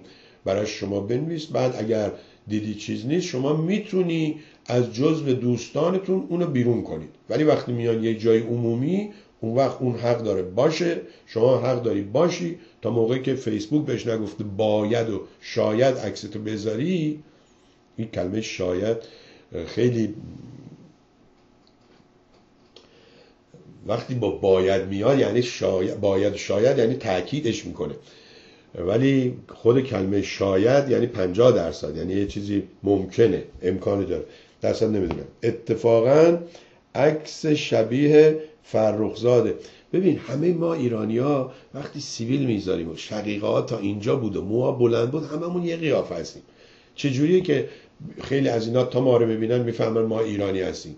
خیلی از ماها وقتی مثلا من تا می‌بینم این کره ها صورتشون گرده می‌فهمم اینا کره ویتنامی مثلا اینجاش اینجوری مثل استخونه می‌فهمیم ویتنامی هست. دیگه بالاخره جغرافی های اون منطقه و بعد باز برمیگرده به این که همه ماها قبیله های کوچیک کوچیک بودیم. یک کم هم نادانیمون مال این حالا فرخ دوباره بهش برمیخوره. میگه آقا من پسر خاله و دختر خاله بودیم نمی‌دونم خیلی هم باهوشم. آقا شما استثناء هستی. تمام این انسان ها که کمدان هستن و نادان هستن برای که بیشتر تو خودشون ازدواج می‌کردن. شما این دوستان یهودی ببین الان می‌بینید شما همتون میگید اینا دانشمندن اینا پروفسورن اینا از لحاظ حساب کتاب فلان اینا اینا. ولی خداییش قیافه که نگاه می‌کنی شما تا نگاه می‌کنی میگی something wrong. اونجا که something wrong می‌دونی چیه؟ میگه طرف رفت اداره ثبت احوال برای بچهش شناسنامه بگیره تو آمریکا. بهش گفتن که اسمش چی بذاریم؟ گفت something wrong. فکر کردن این چون چاینیزه دیدید میگن چین چنگ چون دان جان جون این میگه something wrong یعنی something wrong. و گفت این یعنی چی؟ چه معنی داره؟ گفت آقا من چاینیزم مثلا زنم هم چاینیزه ولی این بچه سیاهه. اسمشو گذاشتیم یه چیزی این وسط غلطه. something wrong. خب همه میگن من شبیه الهه خواننده هستم. والا ما که عکس شما رو تا حالا ندیدیم که ببینیم هستی یا نیستی. خب قهرمان powerlifting از ویتنام بالاخره تونستیم باشون صحبت کنیم. آقای امید ستایش پور رو حمایت کنید. تشکر کردیم از آقای خسرو بهرامی از نیویورک. FCC رو برای دوستان یهودیشون نشون دادیم و اگه اونا اشتباه کردن بهشون بگو اول یاد بگیرید کجا می‌خواین شکایت کنید. بعدا بگید به جای FCC FFC آقای حسن افشاد ساعت چهار بعد از ظهر برنامه دارن. برنامه 205 مین خود که نقل نقد نقد فیلم باب هست. یه فیلمی رو دوستان بهایی درست کردن. به نام گیت. دیدید ما میگیم خیلی ها میگن بهایی خیلی ها میگن بابی. من اصلا تا یه مدت نمی‌دونستم چرا میگن بابی. چون اون امامشون پیغمبرشون خداشون اسم خودش رو گذاشته بوده باب. یعنی از طریق من شما به بهشت می‌رسید و جالبه خود همون میگی شما احتیاج ندارید به کسی. شما مستقیما می‌تونی با خدا تماس بگیری. اون دیگه چه زبلی بوده؟ گفته تا موقعی که من هستم از طریق من بعد من گور پدر همه خودتون مستقیما با خدا. ولی آقای حسن ارشادی ثابت می‌کنه که اینا دروغ میگن. اینجوری نیست. خب بازم امشب شب یلداست من برنامه به خصوصی ندارم و نمی‌دونم هندونه و انار. خب الان فصل اناره. انار می‌خوریم. خیلی هم انار رو دوست دارم. میشینم دون می‌کنم سه تا چهار تا پنج تا می‌زنم تو رگ. و اما امید needs to lose weight and stop feeling sorry for himself. نه عزیز من شما هنوز نرسیدی شدی مربی این این پاور لیفتر و اینا مثل کشتیگیرای مال ژاپن چیه؟ مثل اونن یه دفعه می‌بینی طرف مثلا 500 پوند وزنشه. یا اون آقای رضازاده یادتونه قیافش چجوری بود؟ از بس چاق بود این زیر بغلش اینجوری بود دستش اینجوری بود. اینا بعضی هاشون باید باید بزرگ و قوی باشن. شما نمی‌تونی مثلا با آقای فیلاوی بگی آقا این چیه این هیکل؟ باید وزن کم کنی. این با این هیکلش بود که می‌تونست ما فوق سنگین یا فوق سنگین کشتی بگیره. چیز نکنید فوری مربی نشین. باب یکی از شعب بهایی است. آره من بعدا فهمیدم انقدر برنامه از چی میخندی؟ بله انقدر برنامه های بهایی گذاشتم اینجا که وقتی می‌رفتم فروشگاه که دوستان بهایی بودن اونا به من می‌گفتن الله ابها می‌گفتم یعنی چی؟ میگو خب این سلام علیک ما چیزا هست ما بهایی و اما راجع به سلام اینایی که میگن آقا به هم حتما بگید درود این سلام خیلی بده. سلام و عربا به ما گفتن بگید سلام که یعنی ما تسلیم هستیم. من از شما سوال می‌کنم. خود عربا که به هم دیگه می‌رسن میگه سلام علیکم. اونا به هم دیگه تسلیم میشن. وقتی هم می‌خواد بگه خداحافظی کنه بره میگه من السلام اونا تسلیم هم هستن. آقا این حماقت ها خانم این حماقت ها رو بذارید کنار. این درود ورود مقنن چی چی بود؟ گفتم ققنوس فرشگرد. ها این آقای دکتر اللهیار کنگرلو هست. آقا ما این آقای انوشیروان کنگرلو رو می‌شناسیم. اینجا آدم درستیه محترمه. اینا من نمی‌دونم والا کیان. فکر کنم از اون فروشگاه هست. شنیدید جوکشو گفت طرف رفت یه جایی هی اومد به دوستانش گفت که آقا یه جایی پیدا کردم. فقط ساندویج مغز و عالی. هر روز میرم اونجا ساندویچ مغز خورم بعد یه هفته به دوستاش گفت می‌خوام زن بگیرم. گفتن آقا تو با این بیکاری و بیپولی و اینا می‌خوای زن بگیری؟ گفت نه دیگه. من تصمیممو گرفتم. گفتم خب می‌خوای بگیری بگیری اینا. بعد به دوستاش همه رو دعوت کرد گفت که بیاین بریم این کله پاچه ای که من پیدا کردم. مهمون من می‌خوام قبل از ازدواج بهتون یه شیرینی بده همه رفتن اونجا دیدن نوشتن این مغازه به علت فروش گوشت خر و کله نمی‌دونم خر و اینا تعطیل است. بعد دوستاش گفتن ما حالا فهمیدیم تو چرا تصمیم گرفته بودی ازدواج کنی. این هم جوکیه که حالا بعدا دوستان حمله نکنن. Mormons and Baha'i sect are only 150 years old. یا اینا هم اینجا دارن اونا هم اونجا دارن. بله.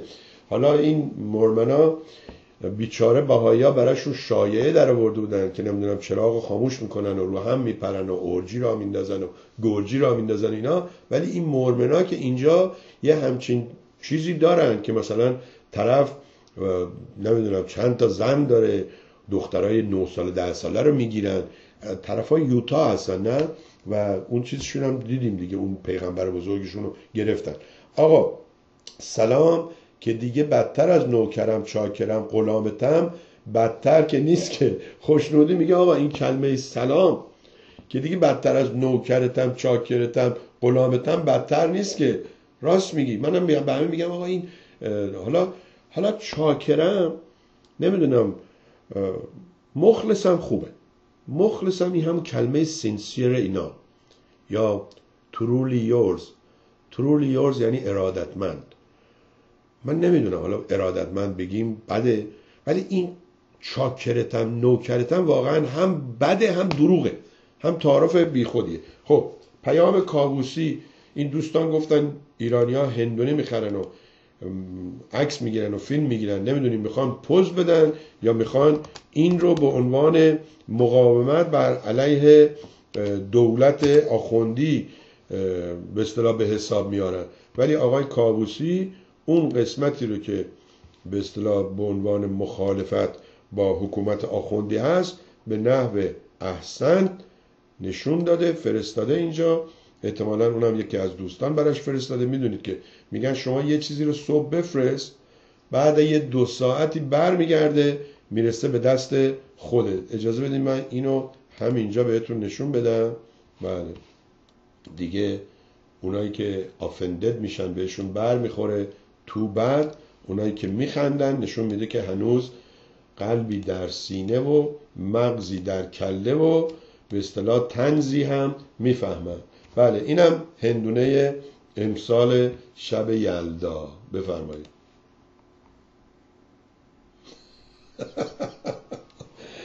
خب این برای اونایی بود که بالای 18 سال هستن. حالا بیایم این مثلا به نظر شما اون بدتره یا این کاریکاتوری که کشیدن نوشته بزرگ مهر حسین پور یا این کاریکاتوره. این همش میگن بستگی داره که شما چی فکر می‌کنید. این. هندونه روی تاکسی بار داره میره میگه خدا به دادمون برسه. امشب هممون رو پاره می‌کنه. هم درست گفته هم از اونوری که گفته یعنی یه چیز دیگه. یا دیدم یه نفر حمله کرده بود به آقای کاووسی و گفته بود که نقل عشق و خانم ها و آقایون اینا بود. بعد گفته بود اونجوری که شما عشق میدی اون روش رو عوض کن. منم به شوخی برای کاووسی نوشتم آقا اینا میگن روش دادن تا عوض کن. خب دوستان عزیز پیام کاووسی هندوانه رو دیدید. عکس وادرملون یا هندونه رو بهتون نشون دادم. فرشگرد برید بهشون بپیوندید. قغنوس رو برید تا بشید اغنوس و بریم سراغ نوشته ها و اینها. و امروز هم جمعه هست و من می‌خواستم امروز رو به عنوان آخرین برنامه امسال سال 2018 حساب کنم و بریم دیگه شما هم کریسمس و ایام مسافرت و اینها خوش باشید. بعد دیدم که دوستان در کانون آوا برای روز دوشنبه برنامه گذاشتن و به همین خاطر من هم با شما خواهم بود. اجازه بدید این هم بهتون نشون بدم. آوا خط فاصله association.com و فکرم آقای ساغرچی و آقای غلامی اشتباه نکنم بذارید وبسایتشون بیاد.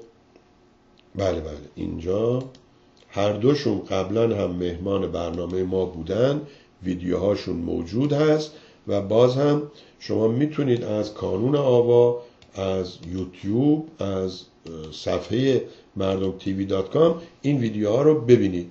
آقایان غلامی و ساغرچی مهمانان برنامه زنده این هفته تلویزیون مردم دوشنبه ساعت دوازده ظهر به وقت نیویورک شرق آمریکا واشنگتن پایتخت آمریکا و ساعت 18 به وقت آلمان و ساعت 20 و 30 که میشه 8 و نیم به وقت ایران.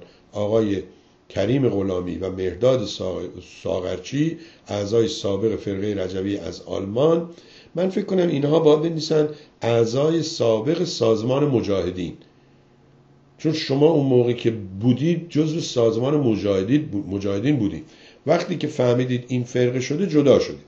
بله در رابطه با موضوعات زی صحبت خواهند کرد. فرقه رجوی و هزار دروغ سیاسی تشکیلاتی و اخلاقی برخورد فرقه رجوی با جدا شدگان و همینطور با اعضا و نفرات در داخل سطوح مختلف و جایگاه فعلی فرقه رجوی در اپوزیسیون و داخل کشور. دوشنبه ساعت دوازده ظهر برنامه اون با این دوستان شروع می‌کنیم.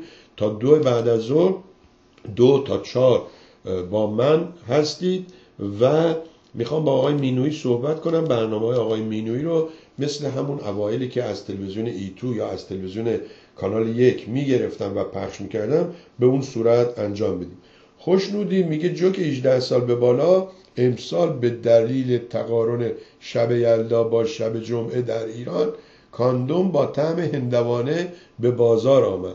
کاندوم رو تو ایران می‌گفتن کاپوت. و ما یادم اولا بلد نبودیم.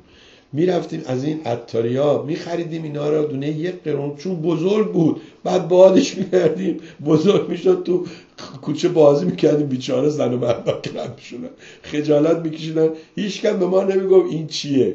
اون بقالم که میفروخت دو نفر بودن. عطاری داشتن.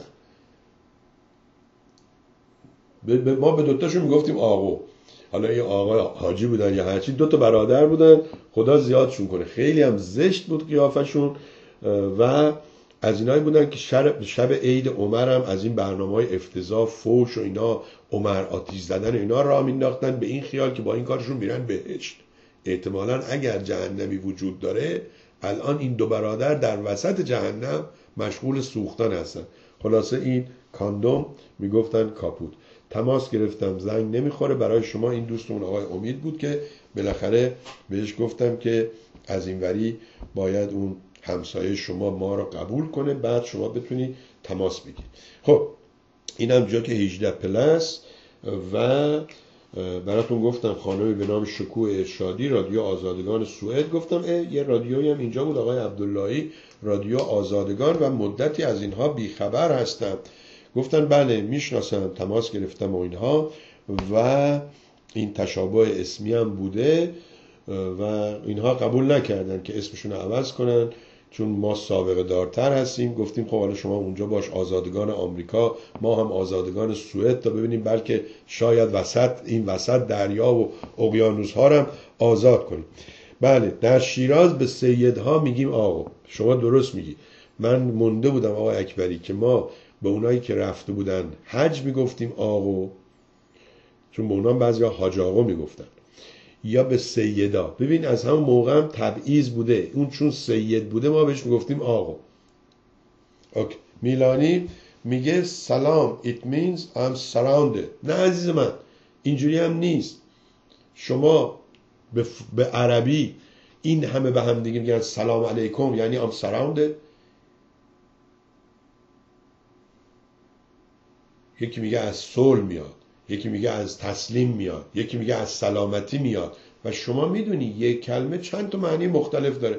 بذارید من این لغتنامه ده خدا یا اون یکی دیگه چی بود؟ فرهنگ امید و اینا رو داشتم اون موقع حتی رو مردم تیوی هم گذاشته بودیم که اینا رو زود نگاه کنیم. تازه اگه معنیشم این بوده که تسلیم الان من و شمایی که به هم میگیم سلام مثل همین حیه مثل همین هویه.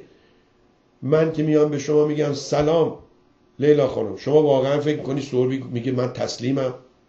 نیست. بعدم حالا اینقدر شما بشین بگو درود درود درود درود درود درود درود درود.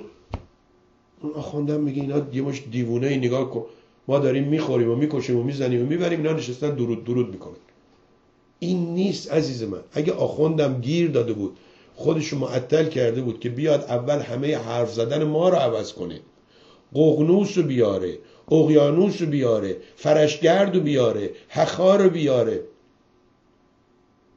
به جای جمعه بگیم آدینه به جای نمی‌دونم فلان بگیم مهرگان به جای اون یکی بگیم آزرگان ما هنوز هم در خم یک کوچه هستیم اونا رفتن گرفتن بردن ولی ما موندیم. تسلیم یعنی سلام. اوکی شما بگو درود من میگم سلام. اصلا از امروز من میگم سلام مثل اینا که لکنت زبون دارن. اون که دیگه شما نمی‌تونی بگی یعنی تسلیم یا میگیم سلام علیکم. می‌گفتن نگو سلام علیکم یعنی شمشیر بر تو. شما می‌دونی. منی که میگن سلام علیکم با اونی که میگه سلام منظورش اینه که آقا دیدمت. خب. این اول دیز دوران خلافت وقتی حسیخی را می‌دادن باید تعظیم می‌کردن و می‌گفتن تسلیمم. اونا هم درست نیست. اونا هم این تاریخ هایی که اینا میگن الان نمی‌دونم ایرانی باید از خرش میمده پایین خرش می‌داده به عربا و اینا. اصلا اون موقع اینا کی بوده؟ کجا بوده این داستان ها رو بنویسه؟ این حدیث ها رو برای من و شما اینجوری کتابت کنن. روزی میگم اون روز دارم آقای بهرام مشیری نگاه می‌کنم. میگه حضرت علی تو یک ساعت چهار هزار نفر رو کشته. آقا آقای مشیری عزیز من شما مهندسی. مهندسی چی چی من نمی‌دونم. اصلا مهندسی تو سر من بکنه این ماشین حساب خریدم سی مارک از آلمان. این ماشین حساب رو بیا چهار هزار نفر تقسیم کن بر 60 دقیقه. این چهار هزار تقسیم بر 60 دقیقه که یه ساعته. در هر یک دقیقه حضرت علی 66 نفر رو میکشته. یعنی هر یک ثانیه بیش از, بیش از یک نفر رو میکشته. آقا مسابقه می‌ذارن تو استرالیا اینایی که تو سلاخونه کار می‌کنن. همه دستگاهی دارن بره رو ردیف میارن این میشکنن فلان بیسان اونی که مثلا توی مثلا دو ساعت ده تا رو سر می‌بره جایزه می‌گیره. اون وقت حضرت علی با این شمشیر زلفقارش چهار هزار نفر رو توی یه ساعت کشت. بعد اینو کی نوشته؟ اون موقع آقای مشیری. اینو کی نوشته؟ ایرانیا نوشتن یا اعراب نوشتن؟ اگه اعراب نوشتن که دروغ نوشتن که شما بترسی. همون جوکایی که برامون می‌سازن. میگه عربا ایرانی ها رو گرفتن. بهش گفتن اونجا وایسا. پاتم این بر نزن. به زنش وایسادن تجاوز کردن. بعد یکیش گفت که این فکر می‌کنه خیلی زرنگه نمی‌دونه من ایرانی هستم. وقتی این داشت تجاوز می‌کرد من پامو گذاشتم رو خط. خب اینا رو میگن این جوکار می‌سازن. حالا اگه براتون اینا همه فرهنگ فیسبوکی است. باری کلا این فیسبوک یه فاجعه بزرگی بود برای ما ایرانی ها می رفتیم هر از مدتی دو سه هفته یه جایی یه مهمونی یه دفعه یه کسی یه چیزی اینجوری می‌گفت اونم تو مهمونی و آبجو خوردن و عرق خوردن و اینا پخش می‌شد میرم هیچ که هیچ ولی این فیسبوک همینجوری دور می‌زنه از این به اون از این به اون اونم فکر می‌کنه. حالا من اینم بنویسم اظهار فضل کنم. خانم آقا این اظهار فضل نیست. این بدبختیه طرف میگه آقا همه کتابای ما رو آتیش زدن گم آقا ما 1400 سال پیش اصلا چند تا کتاب داشتیم. دیدید دیگه بنده خدا آقای لادن چون منطقی هست آمد گفت آقا شما درست میگی. نمی‌دونم چهل تا شطور چهل روز فلان برن کتاب و کتابخونه ببرن. کجا بوده این کتاب و کتابخونه ها که اینا آمدن آتیش یا اون یکی دیگه میگه یه آسیابی رو با خون ایرانیا و چون خونشون زود قلیز می‌شد آسپرین کم بخوره آب بستن بهش فلان اینا آقا اینا رو نگید اینا رو برای ذلیل بودن خودمون داریم میگیم. مشیری تاریخ تبری و این آثار را بازخانی می‌کند. نه خب ببین آقا میگه اگه خدا رو ندیدی به دلیل عقل بشناس. تاریخ تبری اگه آمد گفت اینجوری اینا باید همون بگن. نباید آقای ماشین حساب سی مارکی نداره. چهار هزار رو شما نمی‌تونی تقسیم بر شست کنی. بذار شاید ویدیوش اصلا براتون پیدا کنم توی وقت مثلا اینا کجا بودن؟ جمعیت شهرها جمعیت دهات چجوری بوده؟ چهار هزار نفر اینجوری وای میسادن. این سوار اسب می‌شد می‌گفت تو کارتون ها دیدین یه نفر میاد مثلا سوار اسب اینجوری یه چیزی می‌زنه همه درختها سرشون کنده میشه. اینجوری بودن؟ خب اگه ایرانی اون بوده پس همون بهتر که این عربا بزنن نف نکنن. اگه ایرانی و پادشاه و سربازای نمی‌دونم حالا اون موقع کی بوده دوره این یزدگرد سوم بوده دیگه نه؟ این یزدگرد سوم هم بابای بهرامه که میگن انقدر بد بوده که ایرانیا گفتن ما نمی‌خوایم. همون بوده دوره ساسانیان بوده. کی بوده؟ ارتش ایران کجا بوده؟ اون ارتش هم مثل ارتش ارتش رضا تریاکی و مثل ارتش آقای محمد رضا بود. آخه از این وری خجالت بکشیم. از اون وری اونا رو بزرگ نکنیم. چهار هزار نفر تو یک ساعت این کدوم شهر بوده؟ بذارید براتون پیداش کنم. چهار هزار اینجا یک لحظه یک لحظه. ابن اسیر من ایشون میگه من گفتم این اسیر میگه ابن اسیر. حالا اسیر اینجوریه یا اون اسیر اسیر و گرفتار بودنه؟ بذارید ببینم من این 4000 رو می‌تونم براتون پیدا کنم. انقدر ویدیو بله 4000 پیدا شد. ویدیوها و چیزای دیگه دارم که میاد تو یکی پس از دیگری. یه دقیقه گوشی. ببینید باز آقای مشیری شعر و اینا خیلی قشنگ می‌خونه. شعر سعدی می‌خونه شعر حافظ می‌خونه من مصاحبه ایشونو با اون آقای چالنگی و هر دو لورن دیگه. با اون آقای صادق زیبا کلام دیدم. شما خداییش برید مصاحبه رو نگاه کنید. اینا حالا می‌خوان یعنی راجع به مشکلات ایران صحبت کنن. همش شعر می‌خونن همش گوش بدید. ماشین حساباتون دستتون باشه. کشت و کشتار شروع شد و حضرتشان در حدود یک ساعت چهار هزار نفر آدم مسلمان رو کشت.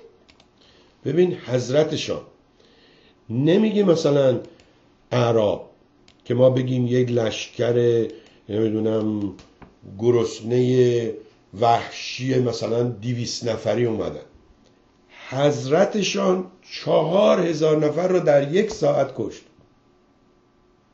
آخه آقای مشیری اون وقت شما فکر کنی با این برنامه ها جوونای ایران فیلم های ترکی موزیک نمی‌دونم فرول و آزادی و فلان و برقص و خوشحالی رو ول می‌کنن بیان میشنن برنامه شما رو می‌بینن. بعد با این میان به شما میپیوندن. حالا فرض به شما پیوستن برنامهتون چیه؟ من اگه اشتباه نکنم آقای تبرزدی بچه خواهر ایشونه یه فامیل آشنایی دارن. اون که شده پیرو آقای امیر انتظام اونم می‌خواد زندانی باش تا بمیره. شما هم که اومدی اینجا نشست تگزاس؟ تازه قبل از انقلابم آمدی اینجا. به گفته خودتون 45 سال هست در آمریکا هست یا 50 آخه این چیه؟ ببخشید خاک تو سر اون ابن اسیر رو نمی‌دونم فلان. این سانابچ این سانابچ برام مشیری چهل سال در آمریکاست هنوز که هنوزه برنامه هاشو از بسم الله شروع می‌کنه. آدم بسیار خوبیه. من من شخصا ایشون رو دوست دارم. یعنی قبلا با هم تلفنی صحبت می‌کردیم. ساسانیان. ساسانیان ریدن به ایران. عرب ها هم از این فرصت استفاده کردن آمدن. خب حالا یه سوالی من از شما دارم. مگه ما نمیگیم در زمان هخامنش و امپراتوری ایران فقط دو تا کشور بودن تمام دنیا و ایران از اینجا تا دریای فلان؟ پس اون موقع این اعراب معراب اینا باید جزو ایران بوده باشن. یعنی میشه باز گفت از خودمونه از ماست که بر ماست. قبول دارید؟ اینم یه سوال دیگه است. اگه ما امپراتوری بودیم اگه بزرگ بودیم اگه لشکر داشتیم اگر سربازا اینجوری بودن اگه می‌رفتیم علکی اینو اونو آزاد می‌کردیم اون وقت ما خاک به سری می‌شناسیم. اینا بیان چهار هزار نفر. ایرانی بی ارزه رو حضرتشان گردن بزنه تو یک ساعت. و من بشینم تو تگزاس اینو بگم. بعدم من اگه اینو بگم دوستان می‌خوان به FCC زنگ بزنن. بذارید من شماره تلفن FCC رو برای آقای بهرامی و دوستان یهودی بذارم. بازم از ایشون تشکر می‌کنم. اوکی. بله اجازه بدید FCC نه F F F F فلان. یه چیزی شما میگیم اینا گفتن کلیمی ها گفتن می‌خوایم با FFC تماس بگیریم همینجاست. بفرمایید. بله. واشنگتن دی سی توی ریچموند هم هستن. بنده دو سه بارم تا حالا باهاشون در تماس بودم. بهرام مشیری لیسانس شیمی داره از سال 74 آمده آمریکا. پس دقیقا درست گفتم. چهل و پنج سال آمریکاست. شعر قشنگ می‌خونه. آقا بیرشین شعر سعدی رو بخون شعر حافظ رو بخون و هر تفسیری. البته ببخشید یه جایش من خندم می‌گیره مثلا میگه که و گفت شاید. البته منظور از شاید یعنی ممکنه. میگم آقا دیگه ما که نشستیم پای برنامه شما اگه شاید و باید و نرم بلد نباشیم که خیلی اولاق تشریف داریم. شما متوجه صحبت, صحبت مشیری نشدید. صحبت چهار هزار نفری که علی در نهروان کش نه اینکه تنها کشته باشه با سپاهش کش و آقا میگه حضرتش عزیز من کاکو جون. مجید رو طبق تاریخ اسلام گفته. آقا طبق تاریخ اسلام گفته شمایی که با اسلام مخالفی الان میری تاریخ اسلام رو میاری سند می‌کنی؟ خب اونا گفتن که بترسن. گفتن آقا ما چهار تا عرب پاپتی بلند شدیم اومدیم ارتش ایران رو از بین بردیم. منم به عنوان آقای مشیری باید بشینم اینو پخش کنم؟ نباید پخش کنم. باید بگم آقا این دروغه. چجوری ارتش ایران از بین بردن؟ که هنوز ما داریم فارسی حرف می‌زنیم. نه اینکه بگیم اگه فردوسی نبود ما هم عربی حرف می‌زنیم. از صد تاشون پرسیدم. یکتون بیان به من بگید منی که تو شیراز بودم جد من تو شیراز بوده. این آقای فردوسی تو توس که خبر از کوروش نداشته اصلا اسم کوروش و داریوش توی شاهنامه نیست. چجوری منو از عربی صحبت کردن تبدیل کرد به فارسی؟ یکیشون مرد میدون نیستن. ولی حسن البکر گفت حسن الهیکل نمی‌دونم. یک بکر یک هیکل گفت که شما عربی صحبت نمی کنید چون که فردوسی رو داشتید. نه آقا چون که ما تنبل بودیم حوصله زبان دیگه یاد گرفتن نداریم. کی کار داشته که تو چی صحبت کنی؟ کدوم کتاب بوده؟ کدوم مدرسه بوده؟ به طرف میگم آقا این آقای فردوسی شاهنامه رو که چاپ کرد در چند نسخه تیراژش چند بود؟ با چه دستگاهی فوری فرستاد به همه ایران؟ همه ایران اون موقع تا کجاها بود؟ بعدم اگه ما عوض شده بودیم فردوسی هزار سال پیش بوده. 400 سال عربا حکومت کرده بودن. ما عربی حرف می زدیم حالا این کتابی که رسید به دستمون ما که دیگه بلد نبودیم بخونیم. جواب ندارن. برای که درست نیست. برای اون تاریخ شما خیلی قشنگ میگی. میگه از اون تاریخ اسلام می‌خونه.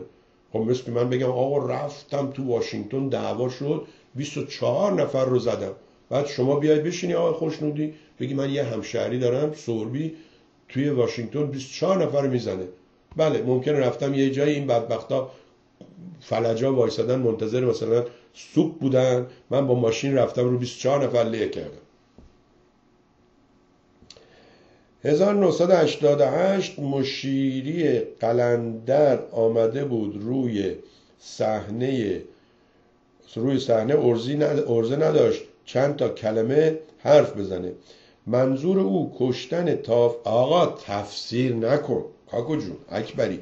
منظور او کشتن طایفه بنی قریزه بود نمی‌دونم غریزه بود نمی‌دونم فریزه بود که حضرت علی و یک نفر دیگر گردن آنها را در مدینه زدند.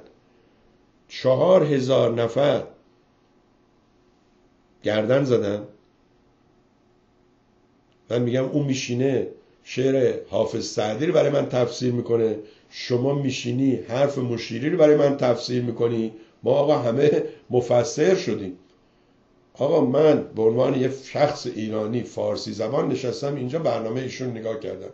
میگه حضرتشان در یک ساعت چهار هزار نفر را گردن زدن قصه خلاص تفسیر نیست.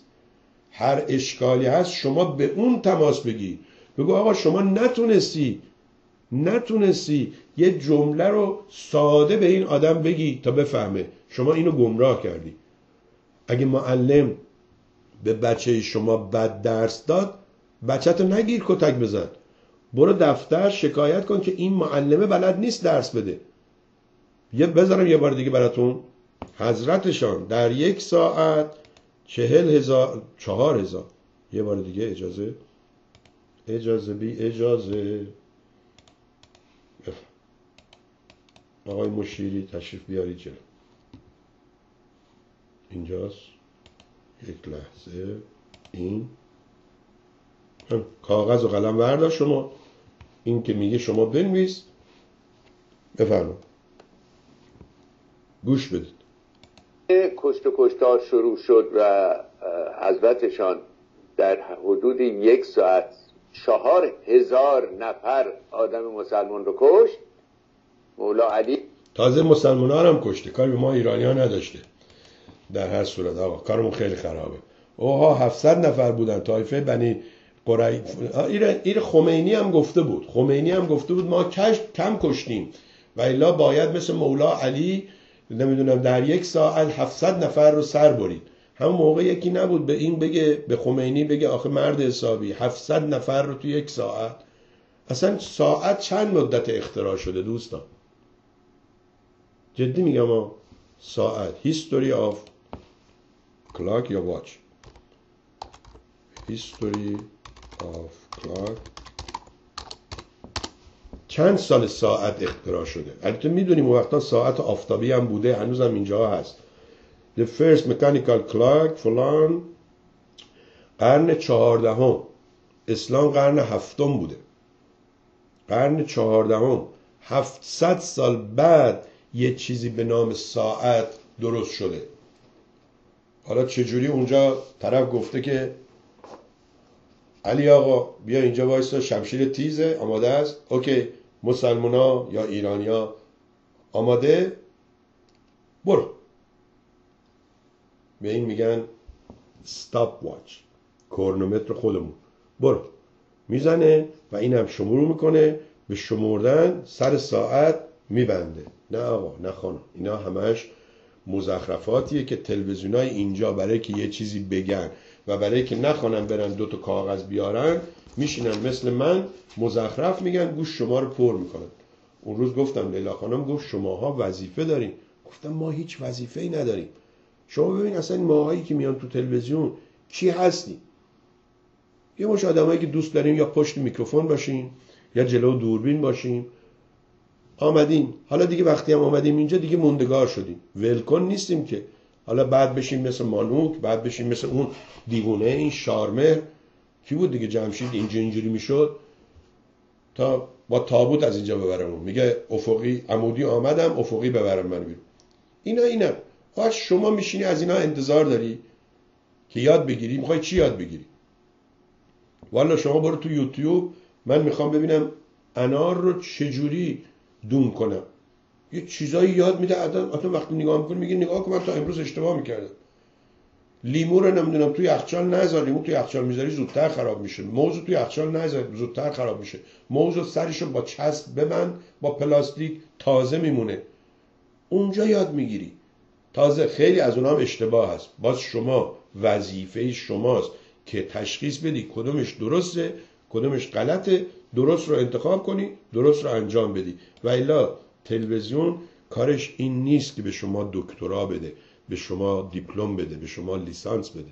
کارش اینه که وقتی که شما نمی‌دونی چجوری تلفش کنی اون کمکت کنه وقتت رو تلف کنی. یعنی الان نگاه ساعت می‌کنی میگی او خدایا این سربی صد دقیقه از عمر منو تلف کرد. اون موقع باید به من جایزه اسکار بدن. صد دقیقه از وقت شما رو تلف کردم اگه از خودت سوال کنی چی یاد گرفتی میگی این چی گفت که من چی یاد بگیرم؟ من هیچ کاری نداشتم آمدم نشستم. اینم آمده نشسته منو سرگرم کرد. دیدی میگن انترتینمنت سرگرمی تفریح وقت گذرانی حالا یه دوتا چی هم نشونتون بدیم که دیگه سرتون خیلی گرم گرم بشه. بله ببینیم که در این خب ایجاد کانال مالی سوئیس با ایران در اسرع وقت. سوئیس ابتکار عمل تازه‌ای در دستور کار اینو ببینیم. یک لحظه. بله. سوئیس ابتکار عمل تازه‌ای در دست دستور کار دارد تا بتواند ارسال دارو مواد غذایی تجهیزات پزشکی به ایران را از طریق شرکت ها امکان پذیر کند. سیاست های سوئیس با برنامه اتحادیه اروپا برای ایجاد روابط تراجی، تجاری تراجی تجاری پسا تحریمی با ایران متفاوت است. سوئیس به دنبال ایجاد یک کانال مالی جدید است تا بتواند به نوعی تایید واشنگتن را نیز به دنبال داشته باشد. اینجا بهش میگن لوپ هول. لوپ هول یعنی کلاه شرعی. دارن دنبالش میگردن. حالا فردا می‌بینی مثلا وسط دارو نمی‌دونم طلا میره ماشین لامبورگینی میره. خب شما دارو رو هم می‌تونی بخری بذاری توی این کانتینرها. تو کانتینر ماشین هم می‌تونن ببرن. آقازاده می‌بینی به اسم شرکت دارویی آقام و مامان داره وارد می‌کنه این چیزها رو. من چندین بار این داستان رو که گفته می‌تونم بیارم. این مثال اینه که بگی خمینی یا امام پنج نفر افسر رو کش در مورد تاریخ بله معتبرترین گزارشات جنایت اسلام را در تاریخ ها نوشتن اونم نه برای ترساندن بلکه فکر می‌کردن کار خوبی انجام شده. متوجه نمیشم. یعنی چی؟ بگیم مثل اینکه خمینی. نه مثل این میمونه که ما خمینی رو که مثلا دستور داد اون بالا روی مدرسه چی بود؟ پشت بام مدرسه علوی بوده کجا بوده؟ این چیزها رو اعدام می‌کردن. تی بارون می‌کردن که بوده تیم سارا و اینا. مثل این میمونه که من بیام بگم خمینی با دست خودش مثلا با یه تیر 15 نفر رو کشت. شما اینجوری نگاه کن. از اینکه خمینی ممکنه یه شب صد تارم کشته باشه دستور داده باشه کشته باشن اون حرفی نیست. ولی اگه من آمدم گفتم خمینی با یه هفتی یه تیری زد 15 نفر رو کشت اون شما میگی آقا حالا دیگه ببین خمینی گور پدرش ولی دیگه اینجوری نکشت. در هر صورت دوستان عزیز برنامه من همینه. مثل تو مهمونی ها دیدی همه میگیم یه چیزی بعد که اون میره میگه آقا چه مزخرفایی میگو. شما که میرید دیگران پشت سر میگن آقا این چه مزخرفایی میگو. همش همینه. بنده نه اهل جنبشم نه اهل نمی‌دونم رهبریم نه اهل ره رهرویم اگه دنبال جنبش میگردید علی بنگی مثل که بنگ خوب گیرش میاد اونجا جنبش شروع کرده. به ققنوس هم میگه ققنوس مثل که ققلیه برید دنبال اون. دیگران هستن دوستانمون هستن با نیت های خوب. آقای زرابی تو آلمان اون یکی یکی هم همدیگر میان رسوا می‌کنن. امروز با هم دوست و بلند میشن از این کشور میرن اون کشور. میرن چلو کباب و نمی‌دونم عرق و اینها بعد همشون هم زبط صوتاشون روشنه. بعد که با هم دعواشون میشه یکی یکی میان نوارای همدیگر رو پخش می‌کنن. روزگار غریبی است. نازنین. از اینکه با ما بودید با تلویزیون مردم بودید ممنون متشکرم. آخر سال میلادی است. حمایت فراموش نشه و مقصد دوستانی از آلمان از کالیفرنیا گفتن آقا آدرس بفرست ما براتون پول میفرستیم. گفتیم چشم. مثل که پولا خیلی سنگین بوده تو دریا رفته پایین حالا شده مثل تایتانیک صد سال دیگه باید بریم به عنوان گنج نجاتش بدیم. این سوئیس رو براتون خوندم. پس از 36 ساعت فعالیت فرودگاه گتویک مال لندن به صورت محدود از سر گرفته شد. اصلا نمی‌دونستم که چی شده. سخنگوی اشرف غنی اون نخست به اصطلاح رئیس جمهور افغانستان اونم آمریکا درس خونده. سخنگوی اشرف غنی گفته خروج نظامیان آمریکا تأثیری در امنیت افغانستان ندارد. برای که داره با طالبان صحبت می‌کنه طالبان قرار شده یه مقداری امنیت رو به دست بگیره. حقیقتا همین نشونه شکست ترامپه که آمریکایی رو میاره بیرون اونجا میفته دست خود طالبان. طالبانی که برید رو با ریگان نگاه کنید از زمان ریگان اینا این سیاست طالبان و آخوند و شریعه و اینا رو راه انداختن که بالاخره خانم هیلری کلینتون گفت این آیسیس رو ما راه انداختیم. وقتی که رفتیم به اینا اسلحه دادیم پول دادیم روسیه رو کردیم بیرون. همچین که روسیه رفت بیرون فکر نکردیم حالا اینا رو ول می‌کنیم با اسلحه بدون پول؟ چی میشه؟ حقوقشون رو قطع کردیم. اینا گفتن خب کی می‌خواد ما رو استخدام کنه؟ اینا مثل مجاهدا کی می‌خواد ما رو استخدام کنه؟ صدام مرده. یا اخی هل عربی هل عربی بیا اینجا عربستان. ما هستیم. میرن میشن بهشون میگن ارتشای خصوصی. ارتش ملی یک کشور نیستن ارتشای خصوصی برای پول.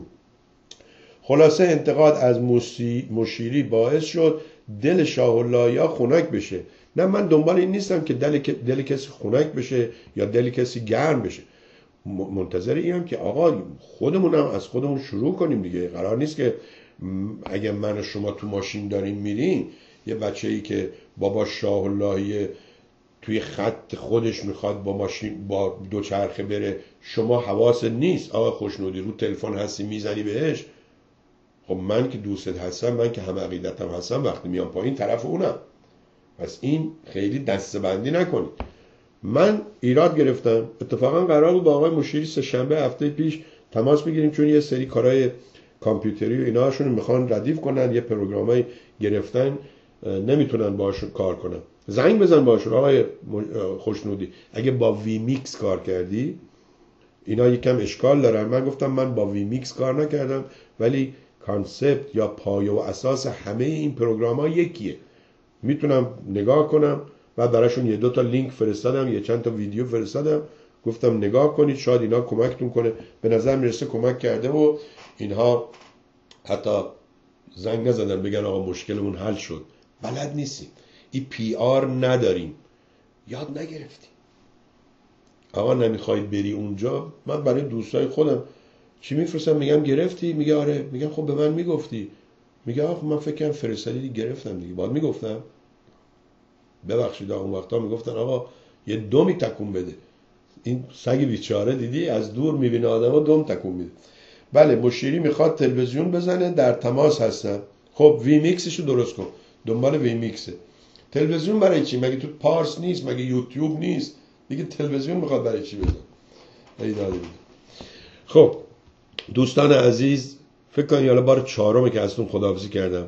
آخر هفته خوبی براتون آرزو می‌کنم. و بریم تا دوشنبه این خیلی جالبه. مشاور امنیت ملی آمریکا از اخراج سفیر ایران در آلبانی خبر داد. می‌دونید که مجاهدین هم در آلبانی هستن و مجاهدین خیلی برای دولت ایران می‌زنن. دولت ایران هم حتما اونجا یک موسموس بازی در آورده که مشاور امنیت ملی آمریکا بذاری براتون بخونم. اینم به ما ایرانی ها مربوط میشه چون هم آلبانی هست هم اون و مجاهده اونجا هستن. سفیر و یک دیپلمات ایرانی به دلیل آنچه دخالت در فعالیت های مخل امنیتی ملی عنوان شده از کشور آلبانی اخراج شدند. سخنگوی وزارت امور خارجه آلبانی در روز چهارشنبه با اعلام این مطلب به خبرنگاران گفت فعالیت دیپلمات های ایرانی مقایر با ماهیت دیپلماسی تشخیص داده شده است. ما پس از مشورت و رایزنی با کشورهای متحد تصمیم گرفتیم آنها را به عنوان عنصر نامطلوب اخراج کنیم. اینم از این. خب دیگه بس. هم من خسته هستم هم شما خسته هستین. بریم آخر هفته خوبی رو شروع کنیم. سعی کنیم مشروب کم بخوریم و مزخرف هم کم بگیم. ممکنه مشروب کم بخوریم ولی مزخرف اگه کم بگیم ممکنه این چون زبونمون پنکه جیگرمونه و باد نمی‌زنه ممکنه جیگرمون ورم کنه و گرم بشه و جوش بیاره. در صورت با این ایمیل info مردم تیوی دات هم می‌تونید با ما تماس بگیرید. این شماره تلفنم بذارم براتون. اینم شماره تلفن 202 695 25 73 و دوستان از طریق PayPal روی صفحه مردم TV با فارسی نوشته حمایت همیاری این برم نوشته دونیت یا دونیشن می‌تونید حمایت کنید. یه دوستی از کانادا دیروز سه تا پیام گذاشته بود که کردیت کارت من رو داری 100 دلار بردار و برام نوشته بود اگرم نداری برام ایمیل بفرست. برای ایشون ایمیل فرستادم. من ترجیح میدم خودتون از اون طرف کمک کنید که این سوء تفاهم ها اشکالات پیش نیاد. ما هم اینجا چیزای شما رو نگه نداریم. credit card تون رو نگه داریم و اطلاعات نگه داریم و اینها. اینجوری راحت ترید. وقتی یک شرکتی به نام PayPal میاد وسط اون اطلاعات شما رو داره. اونا هم وسایل safe تری دارن. امن‌تر هستن به قولی. و اینجوریه. دیگه گفتم بهتون یه دفعه اینجا یه چلو کبابی می‌گفت یه تلویزیونی مای 16 هزار دلار از کردیت کارتش یا اون دو ماهی که این متوجه شده برداشتن من طرفدار پادشاهی هستم ایران شهری. دوستان عزیز همونجوری که قبلا هم براتون گفتم اسم خانم شکوه ارشادی و رادیو آزادگان سوئد رو آوردم. حتما سعی می‌کنیم مصاحبه با ایشون داشته باشیم. این ماجرای ایران شهری این ماجرای جمهوری ایرانی این ماجرای پادشاهی پارلمانی اینها چیزایی هست که دوستانی با صبر و حوصله خانم ارشادی می‌تونن به من و شما یاد بدن. من دو بار در چند روز گذشته با ایشون صحبت کردم برای خودشونم نوشتم. خیلی یاد گرفتم. اگر اگر همه طرفداران سلطنت طرفداران پادشاهی طرفداران هر چیزی که اینا اسمشون آقا میگیم شما سلطنت طلبی؟ میگین آقا سلطنت بده. میگیم بابا خب خود شاه می‌گفت سلطنت موهبتی است خدایی. اون نمی‌فهمید نمی‌دونست. نه آقا ما دنبال پادشاهی پارلمانی هستیم. مثل کجا؟ مثل فلان کشور. بعد تا میگیم میگه آقا مردم ایران به همسایه هاشون مقایسه کن. اینا که سوئیس نمیشن. ولی اگر برگردم به جمله. اگر همه طرفداران خانواده پهلوی طرفداران پادشاهی طرفداران سلطنت منطق شما رو داشتن صبر و حوصله شما رو داشتن من فردا طرفدار پادشاهی می شدم ولی ندارم. احتمالا خود شما هم می‌دونید و خود آقای رضا پهلوی هم می‌دونه و بارها گفته که خانم آقا اگه طرفدار منی من با آقای زرابی همینو گفتم. گفتم آقا آقای رضا پهلوی ویدیو گذاشته میگه شما اگه طرفدار منید خب اقلا منو دنبال کنید. چرا به مردم فوش می‌دید که اونا هم هی برای دفتر من بفرستن؟ یکیش منم. من هنوز شماره تلفن دفتر آقای رضا پهلوی رو دارم. براش دف... میفرستم براش با صفحش میفرستم که آقا نگاه کن اینا طرفدارای شما هستن. یا این که این بنده خدا باید بشین یکی یکی به اینا بگه یا به من بگه که این طرفدار من نیست که منم به اون نشون بدم. ببین آقا این کاری که تو می‌کنی رضا پهلوی میگه تو طرفدار من نیستی اگه این کار انجام بدی.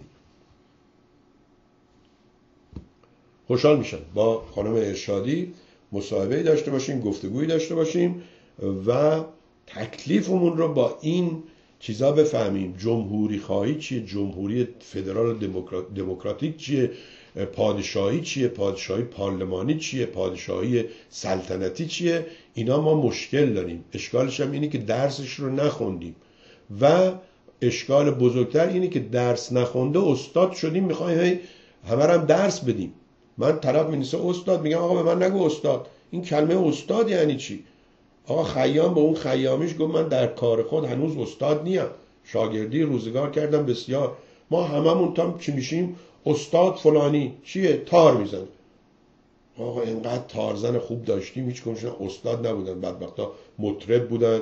باعث شادی و خوشحالی مردم می‌شدن. این کلمه استاد استاد بزنین کنار. و خوشحال میشیم دوستان دیگه بیان اینجا صحبت کنن. ما ازشون یاد بگیریم. روز روزگار بر شما دوستان خوب خوش سالم و سلامت باشید و دیگران را هم تا می‌تونید حمایت کنید. اون آقای امید ستایشپور امروز مهمون ما بود. امیدوارم در هفته های آینده تماس بگیره بگه دوستان چنان از من حمایت کردن که من تصمیم گرفتم اصلا یه شعبه باز کنم منم به دیگران حمایت کنم. مرسی.